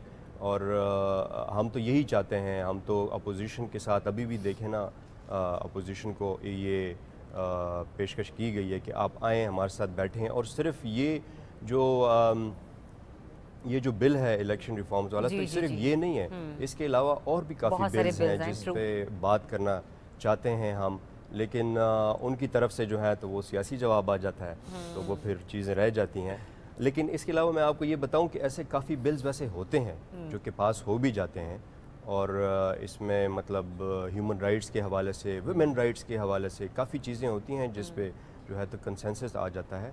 सही। और जो सेनेट में मैं समझता हूँ या नेशनल असम्बली में जो हमारी स्टैंडिंग कमेटीज़ होती हैं उसमें जाके काफ़ी अच्छी गुफ्तु होती है चीज़ों के ऊपर एक स्टैंडिंग कमेटी के चेयरमैन आप भी हैं और ये है कॉमर्स की। जी जी बिल्कुल ठीक है?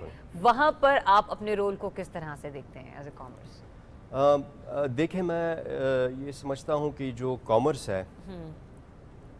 वो तो इस मुल्क में सबसे एक ज़रूरी चीज़ों में इसीलिए है क्योंकि हमारा बेसिकली मसला ही इस टाइम पे यही है कि हमारी इनकम जो है वो हमारी कम है और हमारे ख़र्चे ज़्यादा हैं और उसका एक ही बल्कि एक बड़ा ज़रिया यही है कि आप अपने बिज़नेस को बढ़ाएँ हम्म। आप अपने ट्रेड को बढ़ाएँ और उससे आपको टैक्सेशन में आपको आमदनी आती है और बाकी जो है आपको रेमिटेंसेज और ये सारी चीज़ें जो हैं डॉलर के हिसाब से ये सारी चीज़ें होती हैं तो इस पर फोकस होना चाहिए और मुख्तलफ़ चीज़ों के ऊपर हमारे कुछ चीज़ें ऐसी हैं मतलब जैसे टेक्सटाइल या जो पुराने अरसे से हम उस मतलब ज़्यादा फोकस होता है उनको सब्सिडीज़ दी जाती हैं या उनको अच्छे पैकेजेस अब जो है तो कॉमर्स में हम्म। ये एक बड़ी नई चेंज ये आ गई है कि हर इंडस्ट्री को काफ़ी उसके ऊपर फोकस किया जा रहा है अच्छा। उनको सब्सिडीज़ दी जा रही हैं एक्सपोर्ट के मामले में टेक्सटाइल के अलावा कहाँ सब्सिडी सर दी गई? क्योंकि हमने कोविड के माहौल में देखा कि जो ऑर्डर्स पहले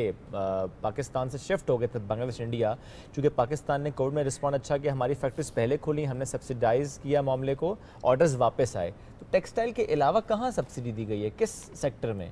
देखें एक तो एग्रीकल्चर के ऊपर हुकूमत का इस टाइम पे बहुत बड़ा फोकस है जिसमें काफ़ी फंड्स भी दिए गए हैं। जो भी हमारे ग्रोवर्स हैं स्पेशली फार्मर्स हैं उनके लिए काफ़ी फंड्स दिए गए हैं।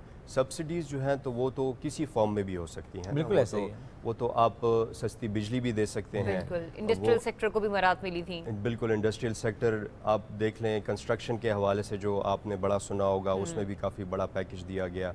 जिसमें एक और कंस्ट्रक्शन के साथ इतनी बड़ी और इंडस्ट्रीज़ हैं जो इसके हम्म। साथ जुड़ी हुई हैं तो उनको भी बहुत इस फ़ायदा इस पर एक सवाल मैं सर करना चाहूँगा आपसे क्योंकि इमरान खान साहब का बड़ा फोकस था कंस्ट्रक्शन इंडस्ट्री पे और इस पर्सपेक्टिव से भी कि जब कंस्ट्रक्शन इंडस्ट्री को हम बूस्ट करेंगे तो उससे बहुत से और शोबे मुंसलिक हैं। मजदूर भी उससे जुड़ा हुआ है।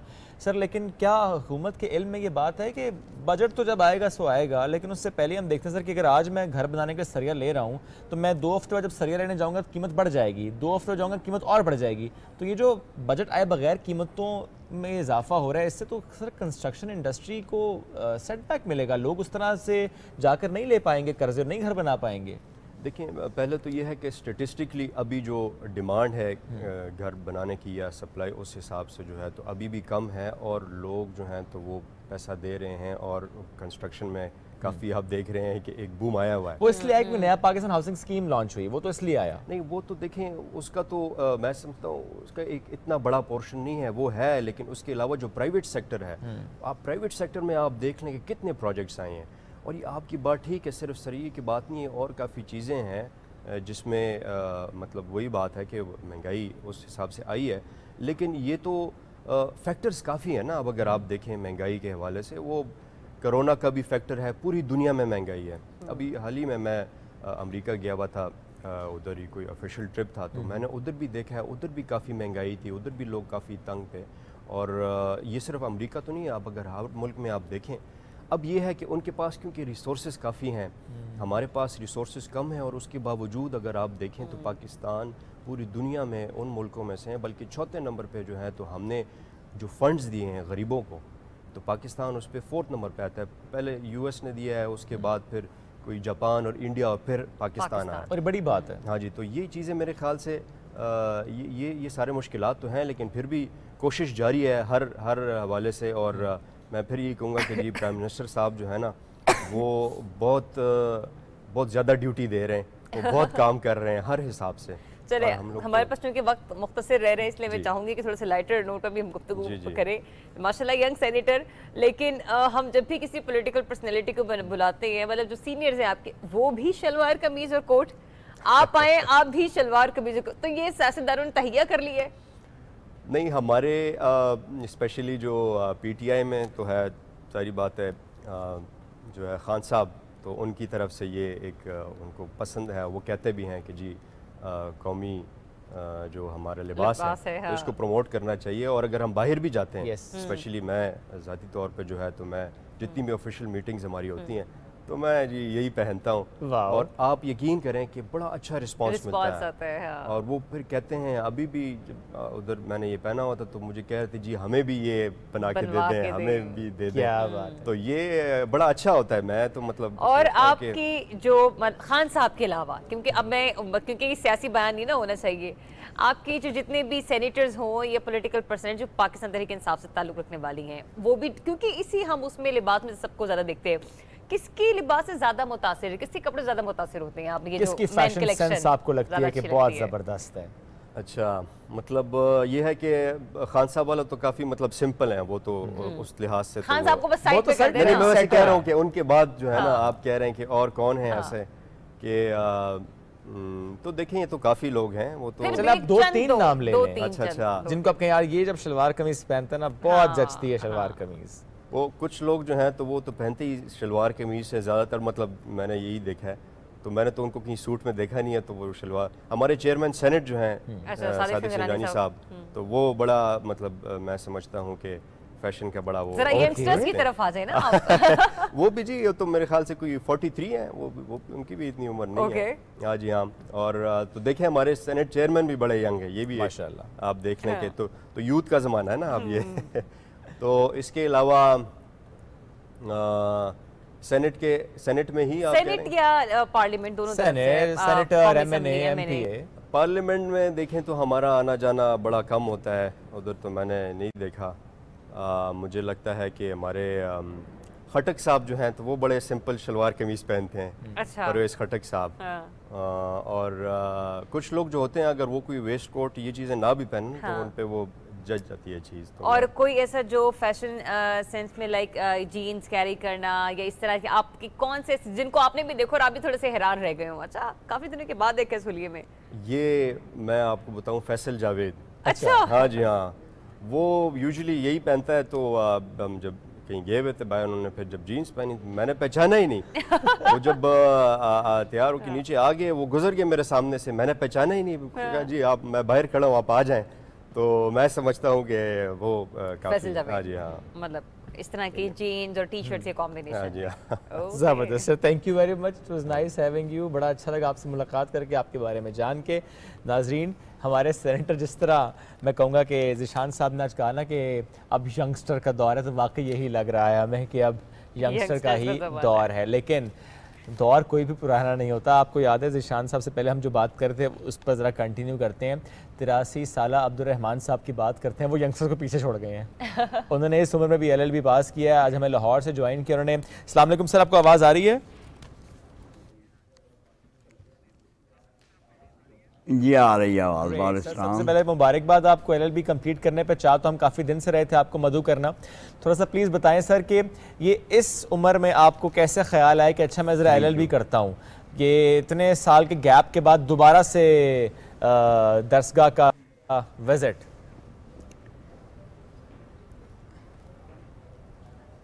सर ऐसा है कि वो नाइन्टी नाइन में मैं रिटायर हो गया था सुपर हो गया था गवर्नमेंट सर्विस से। तो ये तेईस साल हो गए हैं। इसमें बाल बच्चा इतना ज़्यादा था, माशाल्लाह, उनको ब्यादे पढ़ाते गुजर गया। अब ये जब मैं फारिग हो गया तेरह चौदह में तो मुझे ये ख्याल आया कि इर्द गिर्द में बड़ी प्रॉब्लम है, ख़ास तौर पे ये बच्चियों को, बेटियों को, ये फैमिली केसेस में।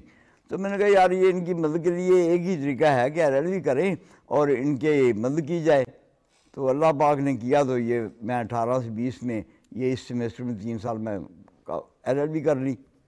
और अब मैं इन लोगों को कंसल्टेंसी भी कर रहा हूँ केसेस भी कर रहा हूँ और I am committed to doing it free of cost कोई अच्छा। फ़ीस किसी से नहीं लेनी। सर मतलब किसी से फ़ीस नहीं ले रहे? नहीं बिल्कुल नहीं ले रहा बिल्कुल नहीं ले रहा। मतलब फ़ीस भी पढ़ा रहे हैं माशाल्लाह माशाल्लाह। तो रहमान साहब, ये बताइएगा, घर वालों की सपोर्ट, फैमिली की सपोर्ट कैसी रही है आपकी तरफ़? ये ज़रा बताइएगा हमें।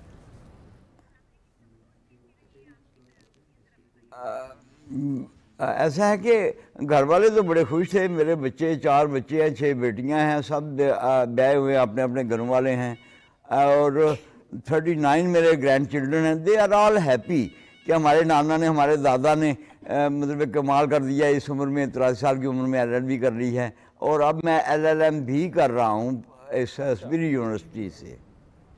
ज़बरदस्त माशाल्लाह एलएलबी कर लिया एलएलएम कर रहे हैं बच्चे खुश पोते नवासे नवासियाँ भी खुश ज़बरदस्त जब आप यूनिवर्सिटी में एडमिशन के लिए गए एलएलएम के लिए तो वहाँ पर जो एचआर डिपार्टमेंट था या जिसने आपके रजिस्ट्रेशन करी थी उनकी तरफ़ से आपको कैसा रिस्पांस मिला? और जो बाकी यंग हमारे जो कॉलेज के यूनिवर्सिटी के बच्चे, लड़के, लड़कियाँ होते हैं, उन्होंने आपको कैसे वेलकम किया वहाँ पर?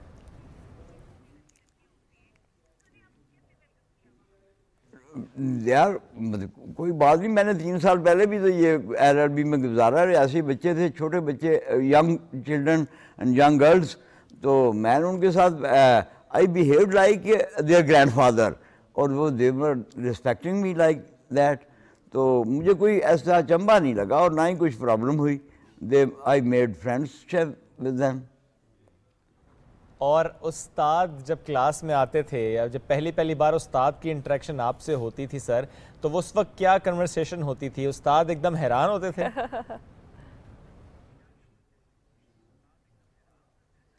नहीं ऐसी बात नहीं है। उस्तादों को एक आध पीरियड में पता चल जाता है कि बस ये दाखिल हो गए हैं स्टूडेंट हैं हमारे। तो आ, मेरे जो उस्ताद थे वो भी मुझसे कम उम्र में कम ही थे। तो एक आध साहब ने मुझे सर भी कहा मैंने कहा सर ऐसा नहीं करें कि उस्ताद जो है वो तो बाप के बराबर होता है। And you I respect you like my father तो but I it was a great experience क्योंकि मैंने अच्छा, अच्छा एक और चीज़ जरा मुझे बताइएगा जिस वक्त आप क्लासरूम में मौजूद होते होंगे और आपके इर्द गिर्द बाकी यंग आपके साथ आपके स्टूडेंट्स क्लास फेलोज होते होंगे आपको क्या लगता है बच्चे क्लास में मतलब यानी आपके उम्र में के हवाले से वो बच्चे कहलाएँगे तो वो शोर मचाने क्लास का माहौल आपको कैसा लगता था? That was quite uh, pleasant. क्योंकि वो मुझे मैं भी उनके रंग में रंग गया बात ये है ना कि why dent Rome do as the Romans do तो वो मैं भी उनके रंग में रंग गया जब वो लतीफ़े सुनाते वो लागुला करते तो मैं भी उनके साथ होता। तो आ, कोई इतना ख़ास डिफरेंस नहीं था क्लास में। देवर क्वाइट फ्रेंडली और वो अब मज़े की बात यह है कि आज भी मैंने यहाँ चैम्बर बनाया तो मेरे पास इतवार को दस बारह मेरे आ, क्लास फेलोज आते हैं। दे आर माई एसोसिएट्स और गप गुप लगाते हैं हम। एलएलएम करने के बाद क्या सोच रहे हैं? क्या करना चाहते हैं मज़ीद? किस तरह कंट्रीब्यूट करना चाहते हैं सोसाइटी के लिए? इनशाला ये जी इनशाला हो गया तो मोहलत अल्लाह पाक ने ज़िंदगी में दी तो डॉक्टरेट भी करूँगा और ये काम जारी रखूँगा। मेरा जो मिशन है वो ये है कि लोगों की मदद करना बगैर उनके उन, उनके खर्चे के। क्योंकि उनके पास खर्चा होता ही नहीं है। और मैंने देखा है मेरे महल हर गली महल्ले में ऐसा है भले वो कैसी भी सोसाइटी हो इर्द गिर्द में देखता हूँ हर दूसरे चौथे घर में कोई फैमिली का किसी बच्ची का किसी बहन का ये मामला है तो ये सिर्फ़ ये नहीं मैं I will do all cases provided they are right and true उससे अच्छा। कोई। फ़ीस नहीं होगी और सर मैं जो आप केसेस के के मुतालिक बात कर रहे हैं कि हर गली मोहल्ले में हर दूसरे तीसरे घर में कोई ना कोई ऐसा इशू होता है जो कि डिस्प्यूट होता है। और वो कोर्ट में होता है तो उसमें आप ज़रा मुआवनत फ्राहम करते हैं that too free of cost तो अभी तक कितने ऐसे लोग हैं, कितने ऐसे घराने हैं जिन्होंने आपसे कांटेक्ट किया और फिर अब आप उनके केसेस को समझ रहे हैं, पढ़ रहे हैं और उस केसेस में उनको सपोर्ट कर रहे हैं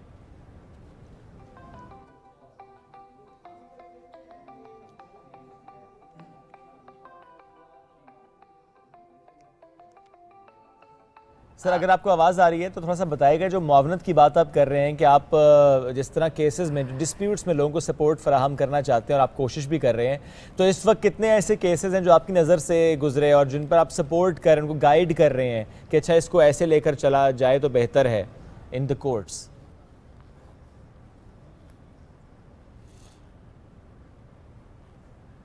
सर, आपको आवाज़ आ रही है? चले आवाज़ हमारी फिर से नहीं जा रही बट एनीवेज हम अब्दुलरहमान साहब से जो गुफ्तु कर रहे बड़ा मज़ा आ रहा है। जिस तरह उन्होंने कहा ना कि वो बस एक आध दफ़ा ही होता है, जब टीचर आता था क्लास में तो वो परेशान होता था। अगर आवाज़ आए सर प्लीज़ प्लीज़ जवाब दीजिएगा। दो, घर उजड़ते उजड़ते बच गए और वो बस गए। और अल्लाह और कुछ तकसीम के केसेस आते हैं, जायदाद की तकसीम के एंड आई एडवाइज हैं और वो कोर्ट में जाने से बच जाते हैं। ना उनका खर्चा होता है, ना कोई ख़राबी होती है। अच्छा यानी इसमें हम यूँ समझ लेते हैं सर कि अक्सर घराने जो हैं, वो आपसे रुजू करते हैं कि अच्छा ये मामला है, इसमें बजाय इसके हम कोर्ट जाएँ, हमारा वक्त भी ज़ाया हो हाँ। हमारे पैसों का भी ज़्या हो जाए तो आप हमारी मुआवनत कर दें। आप फिर उन्हें बिठाकर ज़रा समझा देते हैं कि अच्छा चूँकि मामला ऐसा है तो डिस्ट्रीब्यूशन ऐसी हो जानी चाहिए। इस मामले का हल ऐसे निकल पहले जाना चाहिए वहाँ पर जाके हम्म। तारीखें मिलें आपको आपका वक्त का ज़्या हो जज साहब अपनी क्या कहते हैं जजमेंट पास करें। फिर डेफिनेटली एक फैसला आने में भी एक फैसला आने में भी वक्त लगता है और फिर हम ये देखते हैं कि जो वकील हजरात होते हैं वो भी इस मामले को लेकर चल रहे होते हैं और फिर डेफिनेटली आपको डे, डेट्स दी जाती है। क्योंकि एक मामले को। जाँच पड़ताल के साथ दलाल के साथ या एविडेंस के साथ लेकर चलना ये कोई छोटी बात नहीं होती। इसलिए कोर्ट पर दबाव हाँ, दबाव ऑलरेडी बहुत ज़्यादा केसेस का तो ऐसे में we need more people like Abdul Rahman साहब जो कि लोगों को इसी तरह बिठाकर उनके मामला हल कर दें कि उनको कोर्ट कचहरी जाना ना जाए जाना ना पड़े। अब्दुल रहमान साहब थैंक यू वेरी मच साथ मौजूद थे। आप बहुत अच्छा लगा आपसे मुलाकात। फिर कहूँगा कि बहुत दिन से चाह रहे थे इनसे मुलाकात तो he is an example himself कि हम ये देखते हैं कि अच्छा बच्चा पढ़ नहीं रहा तो चलो ठीक है जी कुछ और करवा लेते हैं। या बच्चे ने अगर एक गैप आ गया उसकी ज़िंदगी में लेट्स सपोज़ मार्क्स कम थे एडमिशन नहीं हुआ एक साल गैप आ गया तो उसके बाद बच्चा कहता है मैंने कंटिन्यू नहीं करना अपनी स्टडी को। तो इज़ एन एग्ज़ाम्पल कि कई सालों का दहाइयों का दहाइयों का गैप आया बट उन्होंने कंटिन्यू किया। At the age of eighty three L L B कर ली करना चाह रहे हैं एल एल एम एडमिशन का हो चुका है तो हमारी बेस्ट विशेष दुआएँ उनके साथ हैं। एल एल एम करें लेकिन उस उस पढ़ाई के सिलसिले के साथ साथ जिस तरह की वो कम्युनिटी के लिए खिदमत कर रहे हैं सोसाइटी को कंट्रीब्यूट कर रहे हैं ये बहुत अच्छी अच्छी बात है हम्म। कि वो उस दुरुस्त समत की तरफ़ जा रहे हैं जिस समत में हमें एज अ रिस्पॉन्सिबल सिटीज़न जाना चाहिए एज अ ह्यूमन बींग हमें जाना चाहिए एज अ मुस्लिम हमें उस पर फोकस करना चाहिए कि लोगों के मसलों को हल करना है अपने जो सलाहियतें हैं उनको इस तरह बरोकार लाना कि अगर मैंने कोई तालीम हासिल की है मैं पढ़ लिख गया हूँ मुझे एक नो हाउ है मेरे पास नॉलेज है इन्फॉर्मेशन है और मैं चीज़ को दुरुस्त तरीके से हल कर सकता हूँ। एक डिस्प्यूट को बजाय इसके कि वो डिस्प्यूट में मैं किसी एक पार्टी का साथ दूँ और फरीक, बन फरीक बनने के बाद मामला ख़राब हो तो होना ये चाहिए कि आप बिठाएँ उनको और उनके मामला को हल करें। That's what he is doing और ये नेकी है बिल्कुल ऐसे ही है। और नेकी कीजिए जिससे आप लोगों को ना सिर्फ़ फ़ायदा पहुँचा सके बल्कि कि माशरे में आप इसलाह का मौजब भी बन सके। इसी के साथ ही सुबह पाकिस्तान की टीम को मुझे को इजाज़त दीजिए अपना बहुत सा ख्याल रखिए। अल्लाह हाफिज़।